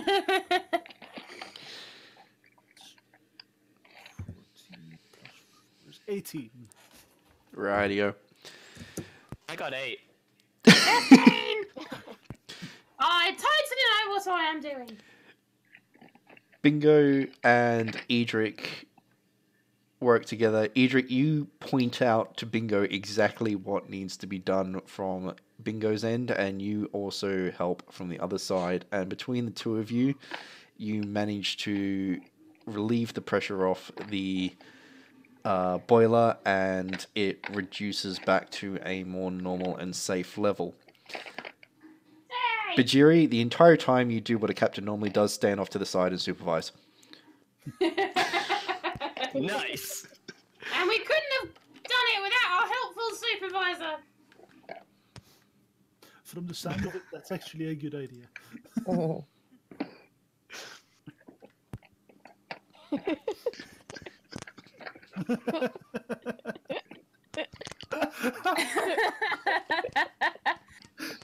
Look, woman, I help.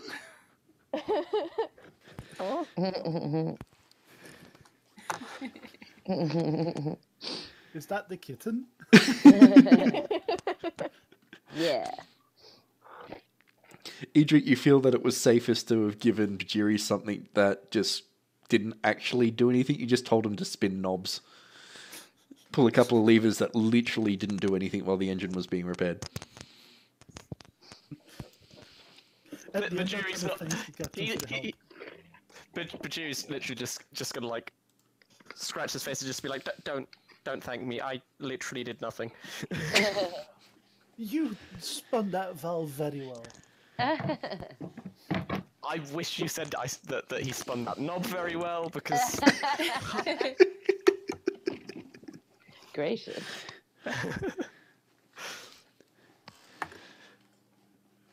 Rightio. Crisis averted, and Edric, you're fairly certain that this engine will at least hold together long enough to get you to Port Mali. Captain, we should probably take note that we need a new engine soon. oh, I, the first thing that I was going to replace was the sails. Those are useful too, but we kind of need the engine to stay afloat. But Bhajiri laughs. Sarcasm, my friend. Sarcasm.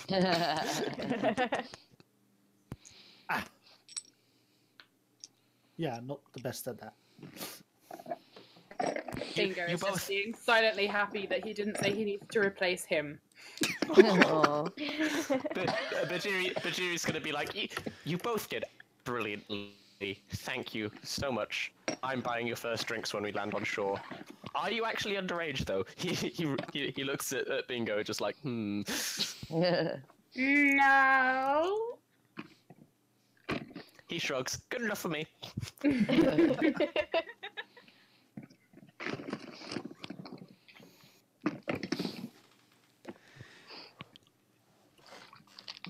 He will thank. Um. And he'll say Varric. I apologise. He'll thank Bjorn Varric for his help. Thank you. That was uh, appreciated. Uh, I I am not so good with the whistlings and the noises, but I'm good with explosions. But I appreciate this was an explosion we wanted to avoid. At least for now. Yeah. If we ever need it to explode, I know that I'm going to count on you for solving that. Oh, that means so much to me. Thank you. You're welcome.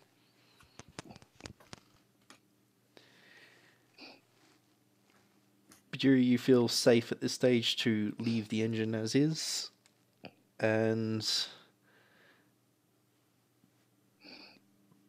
up on deck, it's you've got like a number of the crew sort of like co- cocking their ears, waiting to hear a potential sound that sounds like an explosion.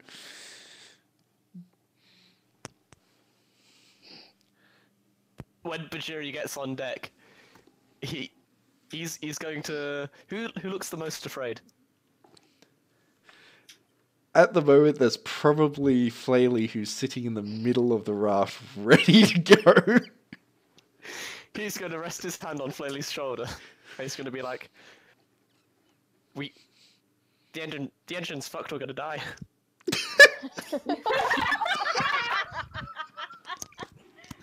You fucking bastard, I love it. Give me a minute.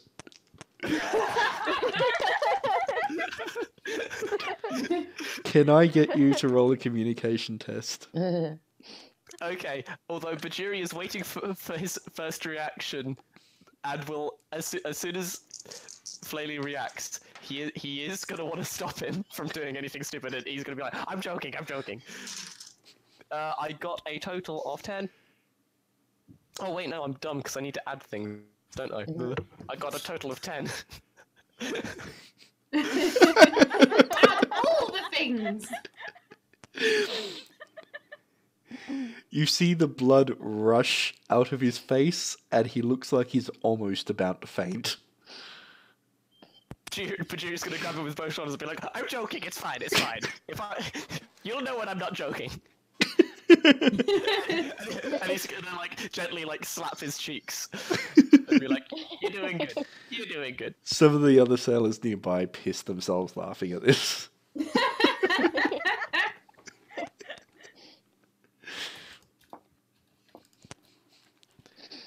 Edric, he wore the brown pair today. Good.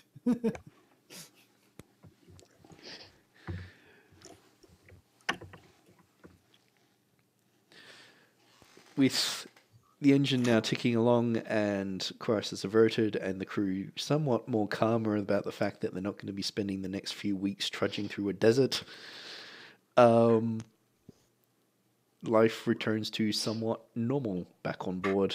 And you continue learning the different tasks of how to manage a ship of this caliber, how to maintain it, how to do some repairs.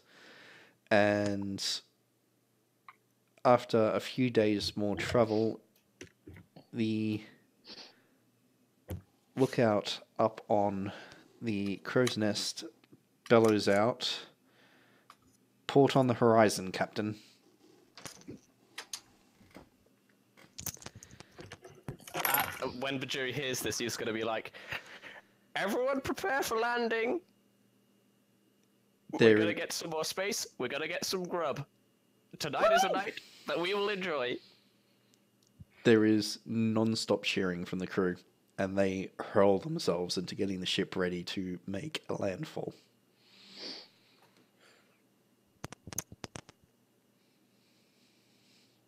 Bhajiri is very happy just to like take in the moment and just see his crew just being so ecstatic as he's behind behind the wheel, just like, huh, this is my life.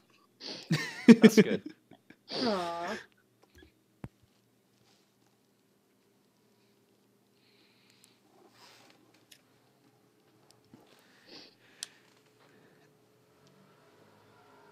As you sail in, you fall in line behind the Argonaut, who has slowed down to be almost within shouting distance to escort. Sorry, just force a habit. One of the sailors who's signaling with flags nearly jumps clean off the side at the shout of Bingo's shout. It's us! Baj- Bhajiri is gonna hand Bingo like the the nearest random object, d- and, and just be like, whenever I hand you this, you calm down. I love your excitement, but not all the time. I'll leave it up to the DM what the object is. Is it a rubber ducky? You have looked around for anything that was in reach, and one of the sailors has been passing by with some tools, and you literally just gra- snatch something out of his hands, and you come away with a spanner. oh. Bhajiri's gonna look at it and he's gonna say, "A spanner means that you chill, Okay. but don't worry, it's only momentary. I'll let you unchill when we get on the port, and then you can have some fun. No explosive fun, just fun fun. And and do I have to give you back the spanner? You do, but the spanners, like it's it's, it's a secret thing between us now. No no one else can take the spanner fro- from between us. Okay. It's it's it represents a bond. a, a secret spanner bond. The secret spanner bond. We, we should have our own handshake. We we should, and it should use the spanner. Yeah. We'll, we'll work on that. We, we'll work on that. Yeah. The sailor who Bingo nearly made jump off the ship is just staring incredulously at the both of you, and is now turned back to looking at the Argonaut and pretending nothing is happening.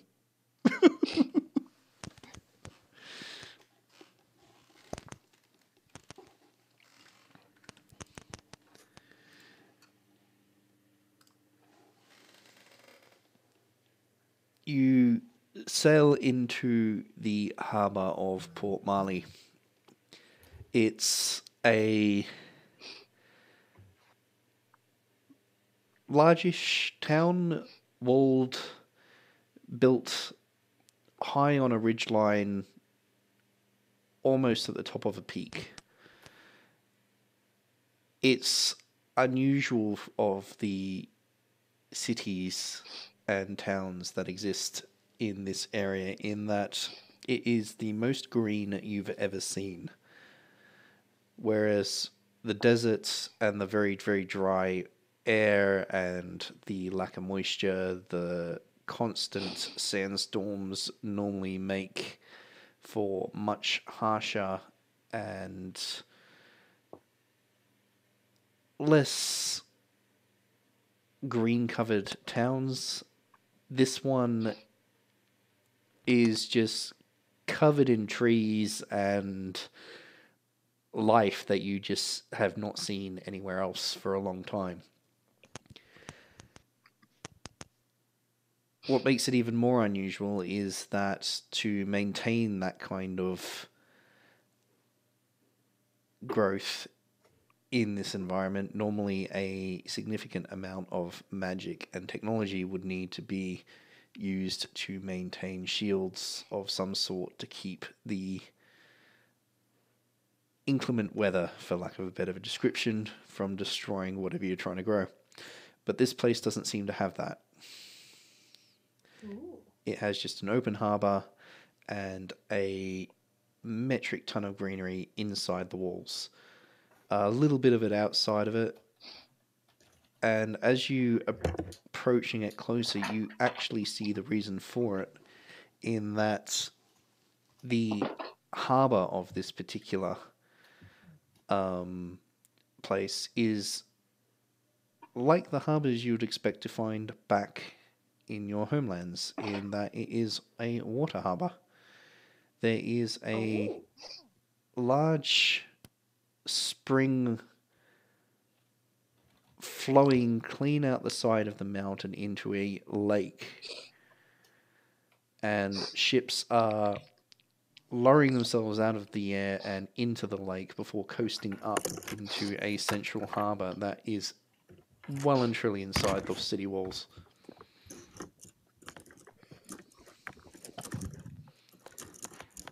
As you lower into the harbour, you can see why the greenery seems to survive in that you are actually lowering yourself not just into a walled city, but into a what looks like to be a caldera, a crater of a long dead volcano. And the ridges around you protect from any wind and any sandstorms. Nice.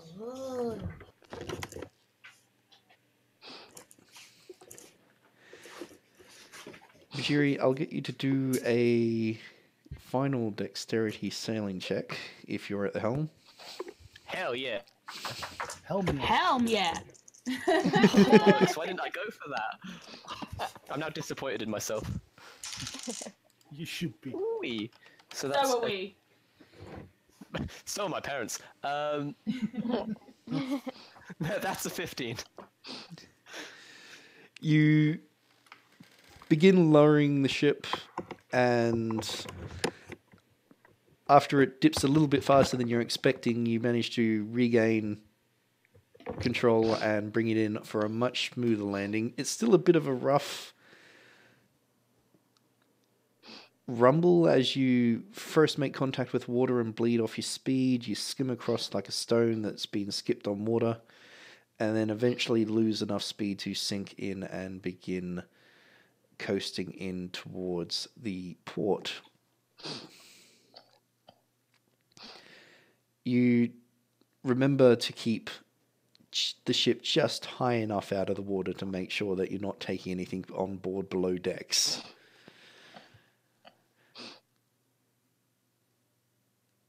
Eventually, This is why we batten down the hatches. Eventually, you coast in, and the Argonaut in front of you has already begun throwing out lines onto a large wooden dock that extends out into the water, and you pull the vessel up alongside but the dock and behind the Argonaut.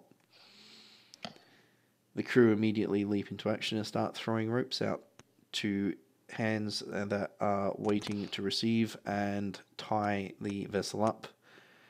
And a gangway is lowered down onto the docks.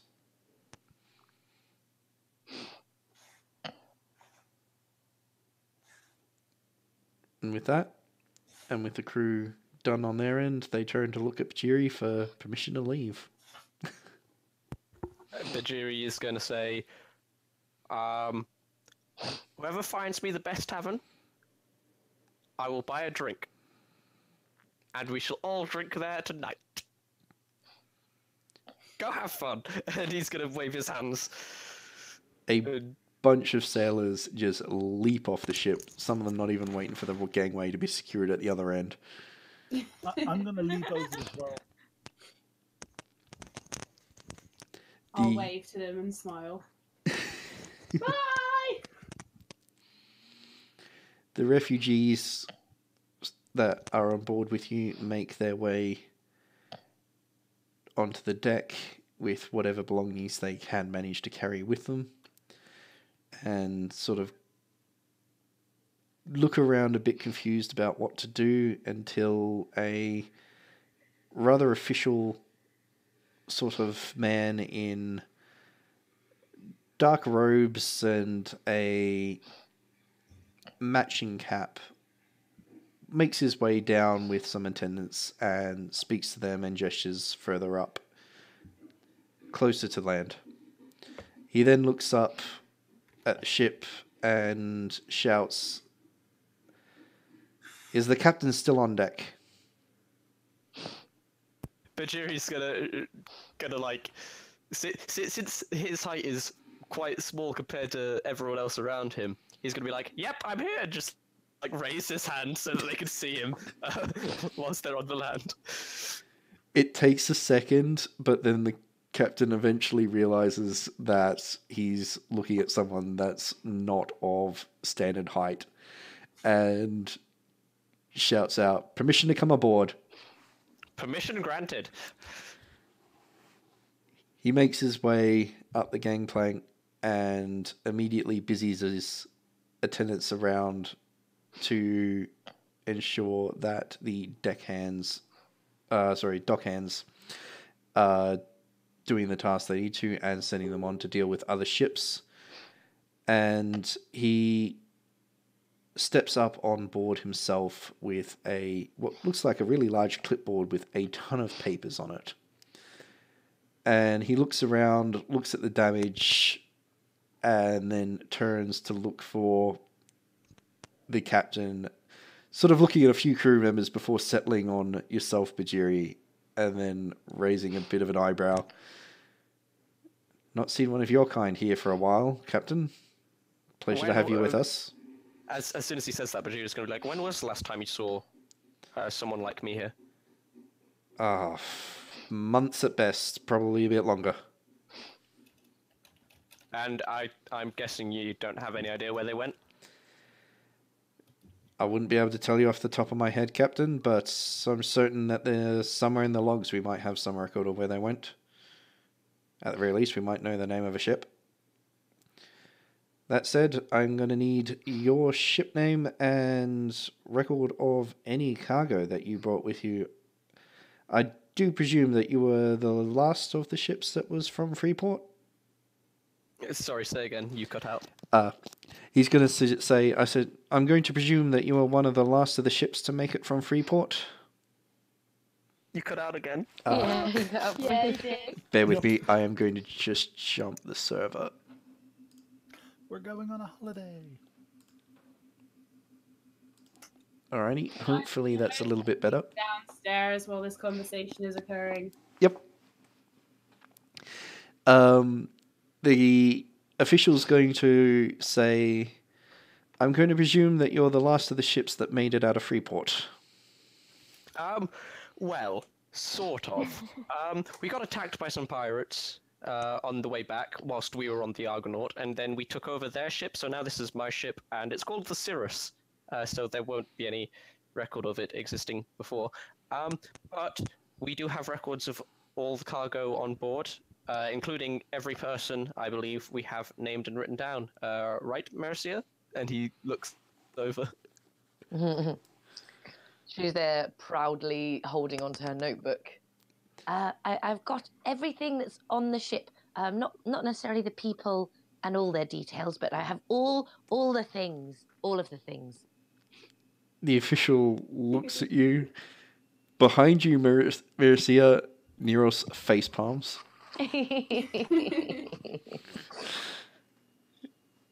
It seems to be muttering something to himself. But the official takes the papers and starts going through them, cataloguing everything, and raises an eyebrow slightly at some things. and then he hands it back and makes a couple of notes in his ledger. I will speak to the captain of the Argonaut.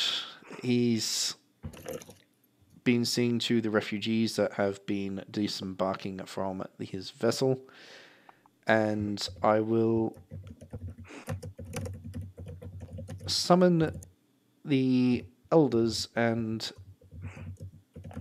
unfortunately, I will need to rope in those northern ambassadors, but having a prize of war is definitely going to do us well.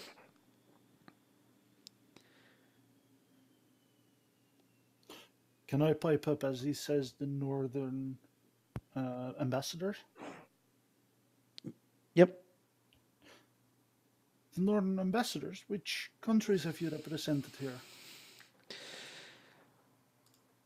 He looks across at you and sort of sighs.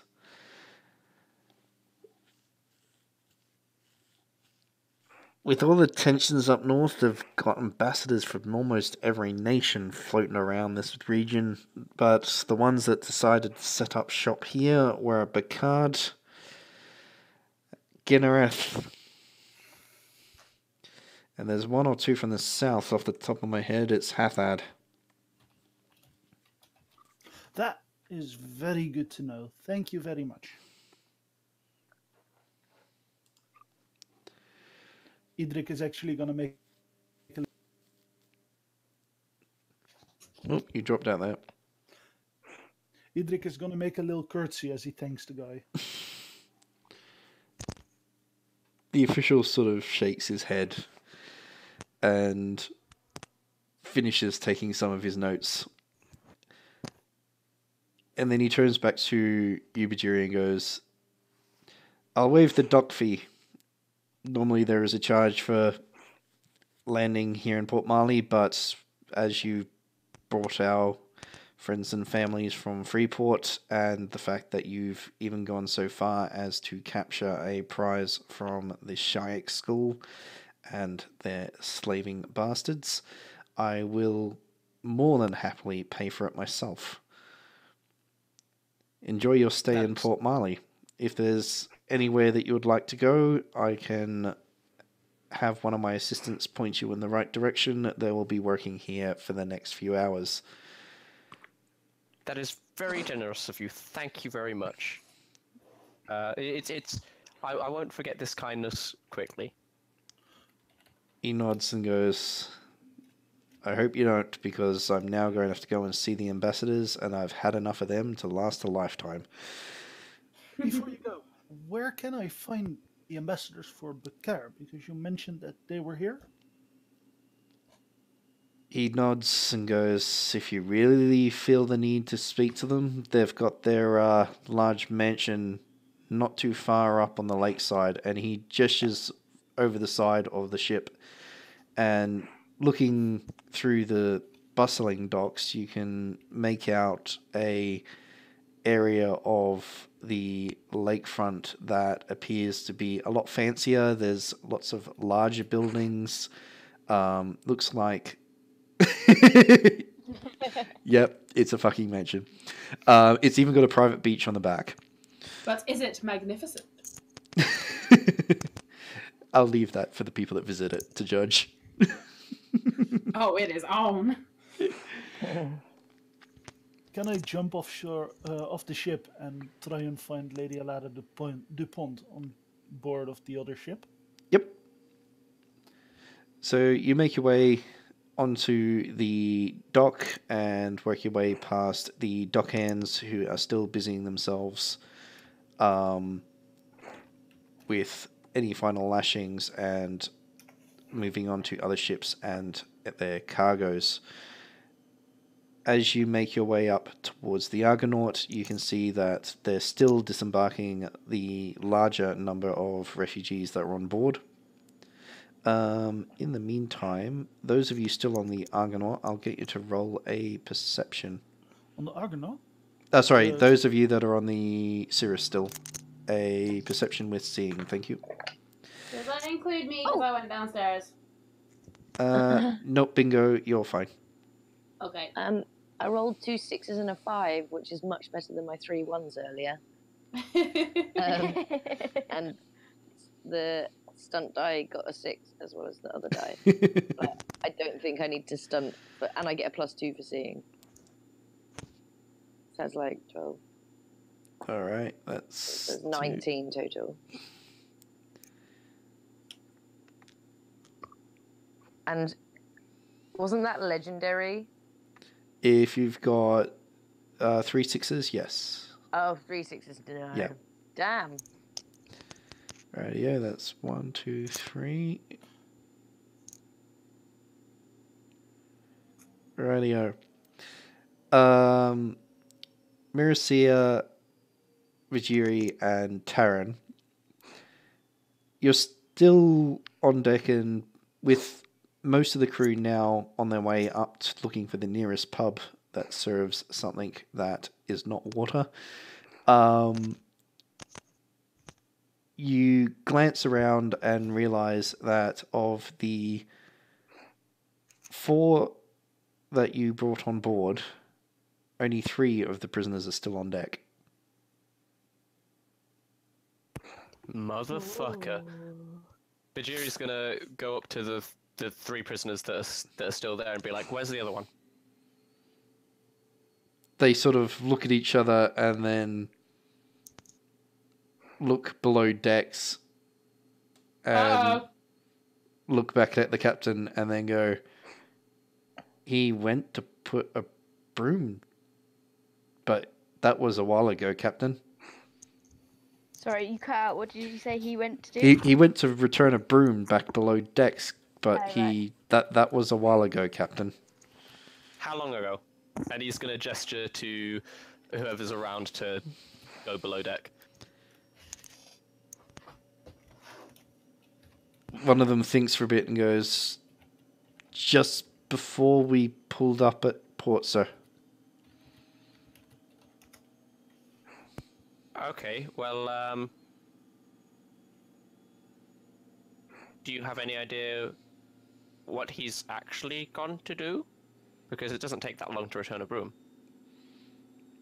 No, sir. He he's not spoken to us very much. Well, thank you for being honest to me. And if it's not honesty, I will cut out your tongues. Uh, and Bhajiri's gonna head below deck. You go below decks, and in the corridors you don't see anything. The engine's still humming softly. Yeah. I did that. but you don't hear anything that's out of the ordinary.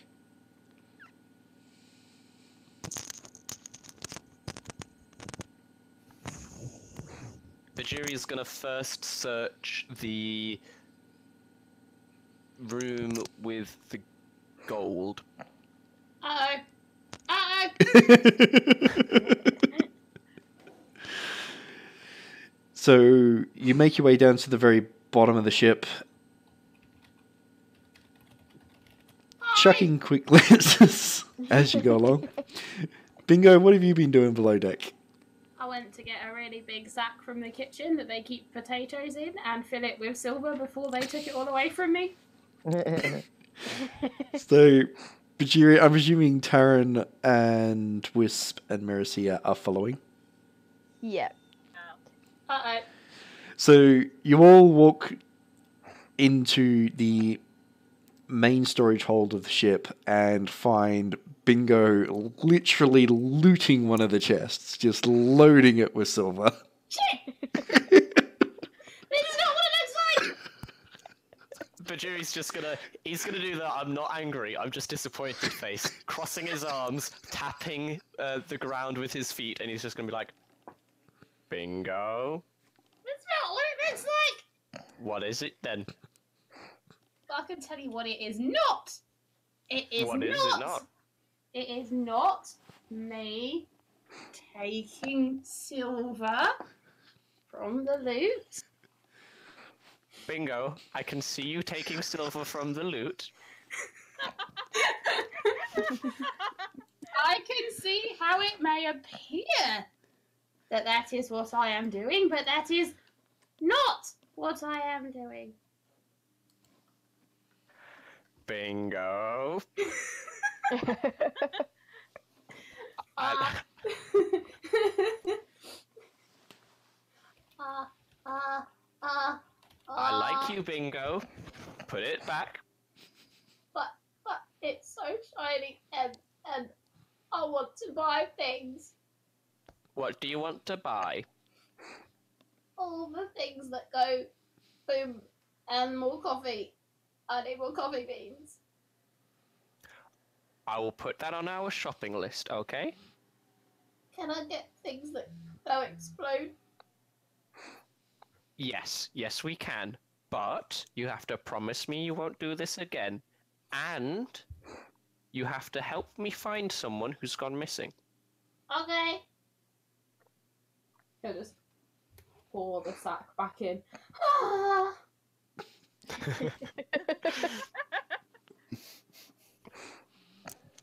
Okay, one of the prisoners has gone missing. We need to Which find one? him. Uh, I'll the one find who the was. bastard! Uh, go for it. Yeah, sure. Which one? Uh, the, the one who didn't talk very much. The one with the scruffy beard. Y- y- d- Did he have a scruffy? I have no idea.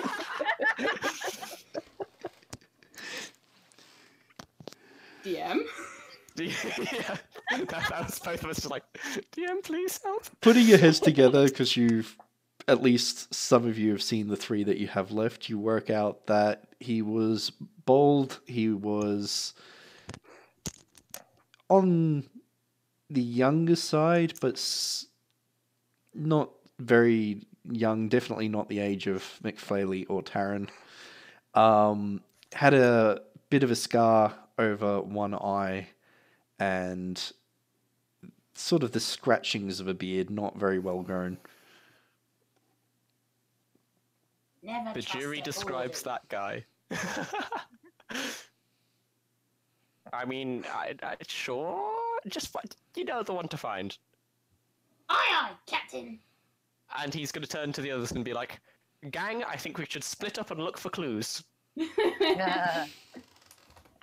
Oh, Aggie!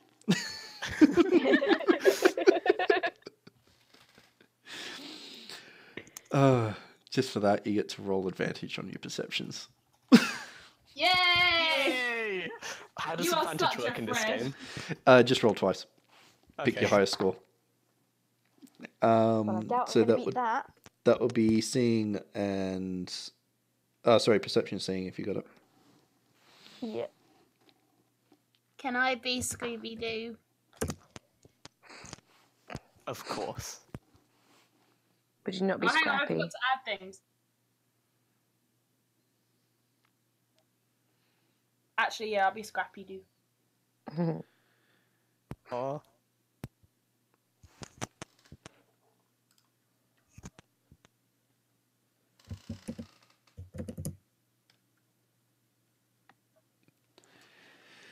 So as you search, you split up over the ship and go room to room. Some of you check. Oh Jesus! Some of you check the rooms that the captured sla- uh, sailors had been using. Some of you um, go and check the engine room just to make sure he's not tampering it uh, with it. That. Um, Edric, you and oh, you're on. I locked the sh- uh, I locked the armory when I leave. it, so I have the key dangling around my neck, and I'm not on board. Yep. So the armory is locked, so you can't actually get in there. But you put your ears to the door, and you don't hear any noises in there.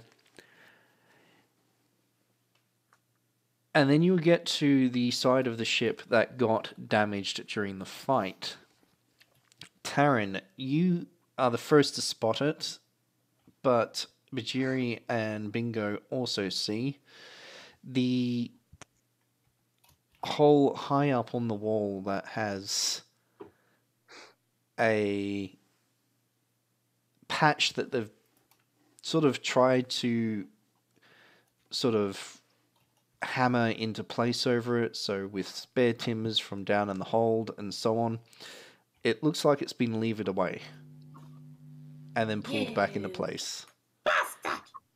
Tarin, you see the a couple of threads of cloth sort of caught in the timber.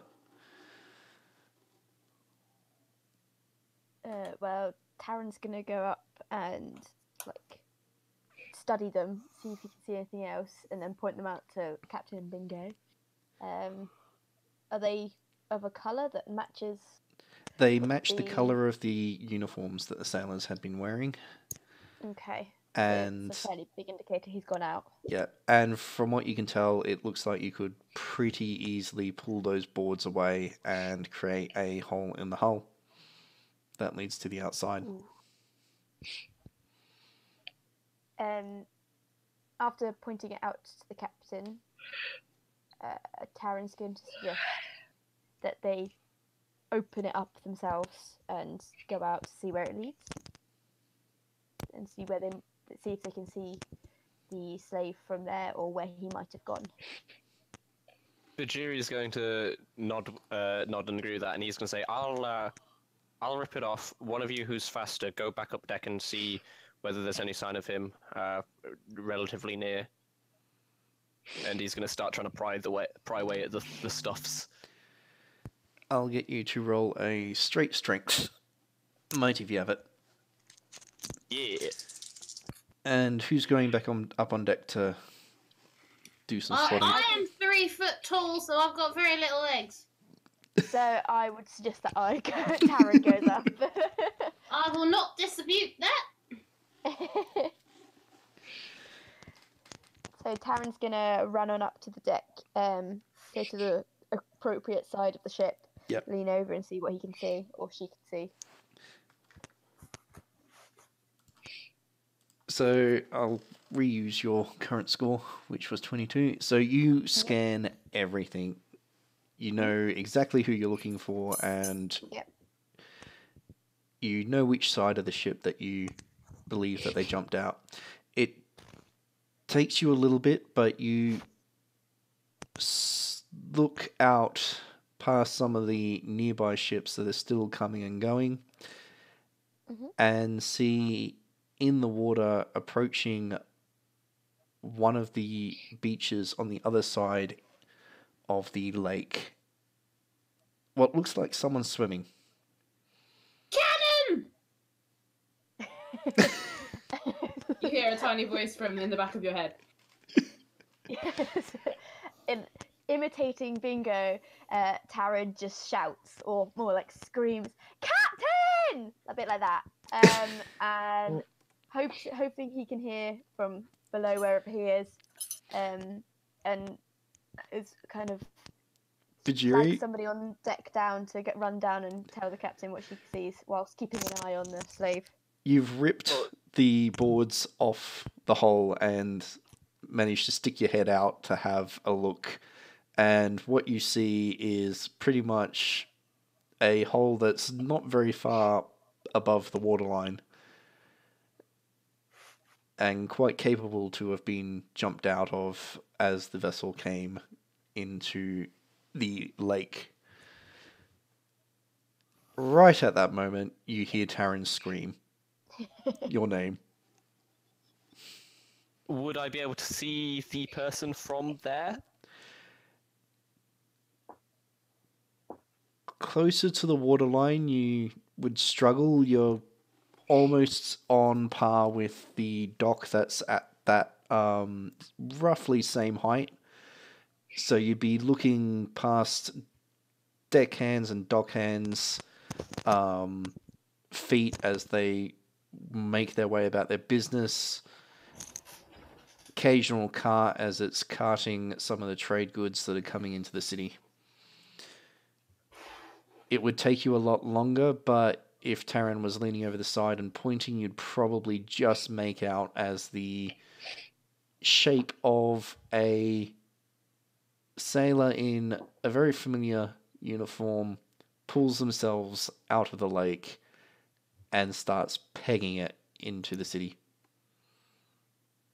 Well, okay. Well, in that case, um, Bhajiri is going to. So he could easily like pull himself through the hole onto the dock, right? Yep. He's he's going to do that, and what, leaving his ten foot pole behind him. Slightly heartbreaking, but it's in the ship, so it's fine. And he's going to shout to Tar- uh, Tarin, since they're on board, and Whisp as well to get, get into the city, get that guy. He, he's not going to escape us. Wait, sorry. Were you saying that Tarin's going with you or staying on on the ship? Sorry. Uh, he he's going to shout for Tarin and for Whisp to give backup as he Alright, okay. skedaddles to chase after them. Cool. Uh, Tarin's gonna turn around, leg it off the deck, and get to the dock as quickly as she can to follow after the captain.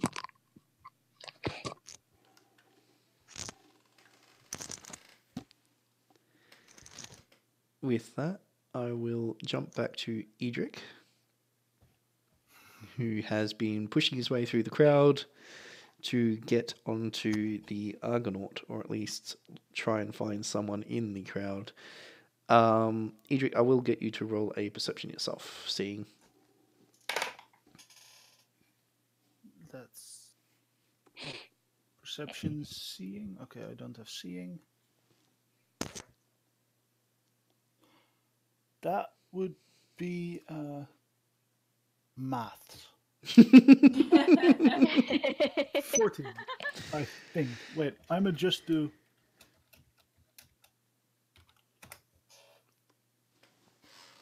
Uh, 9, 12, 14, yeah. Yep. Yay, I mathed correctly.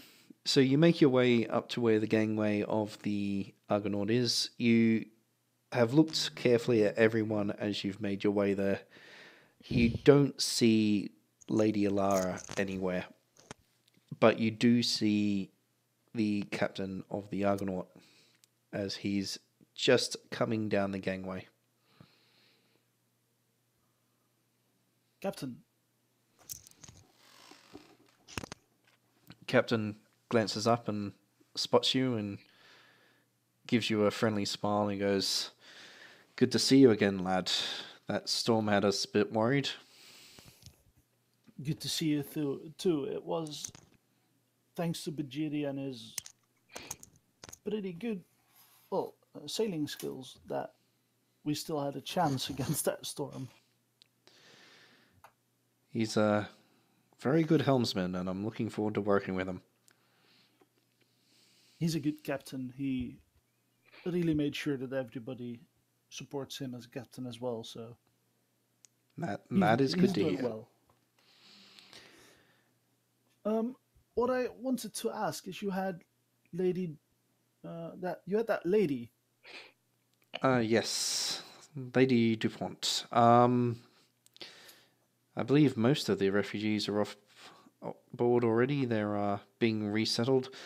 The lady herself was uh, escorted up into the city already. I believe she's on her way to the ambassador. She is on her way to the ambassador already. Yeah, the uh, ambassador. Uh, well, to be honest, most of the embassies appear to be well aware of the attack. We were, after all, some of the last to arrive. As soon as word arrived that the Argonaut was here, the ambassador had some men waiting for the lady to disembark. They've escorted her safely up towards the embassy. In that case, I'm gonna have to go there. I'll make a, st- a stop by the ship first, though.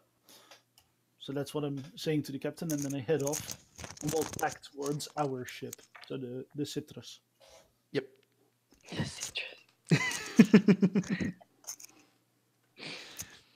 Dang, damn it. Um, I will probably wind us up soon, Maricia, Thank you. because I believe some of us have a lot to do. Yeah. Burning that the candle at all ends and all Yeah. angles and So, to be honest, I actually might wind it up roughly about now because this is a good spot to put it. That's a fucking cliffhanger and a half. Oh yeah. Um, and before we get to that, I will say that you will all level up after this, so you will be level two. If you need any help, pop me messages. What what does How that do like, levels work in entail? this game? Yeah, I was gonna say I have literally no clue. It That's- means we get stronger. Yep, I will pop messages onto the Facebook. Oh, fantastic. Radio. Um, yeah, I'll leave it there with the sailor making his way into the city to try and escape. The refugees are now disembarking and being found safe places to stay, and the Argonaut and the Citrus are now alongside. Um, Bhajiri, as you jump onto deck, a attendant spots you and waves you over. Um, sort of puffing. He seems to have been literally running from ship to ship, and goes, "Captain, Captain, a moment of your time." One moment is all you get because there's a guy I'm chasing. Your ship will take a few days to repair, but we've uh, been told to make all haste with that, and the elders would like to see you at your earliest convenience.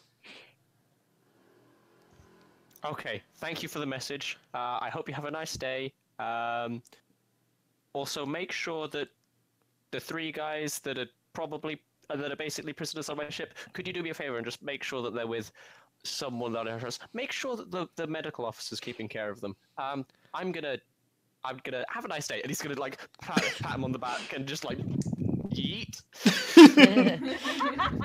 this flustered, rushed off his feet, like apprentice is just confused as hell, but sort of shrugs and then runs up on deck to go speak to Neros, and then runs off somewhere else.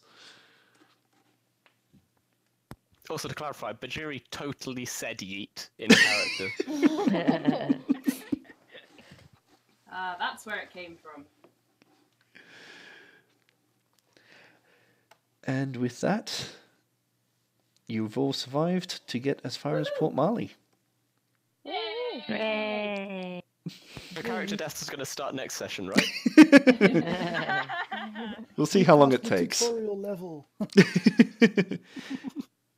Yeah, level two is as high as we get, guys. That's it. I'll just stop the recording. Well, it's easy to TPK in this game. Just blow up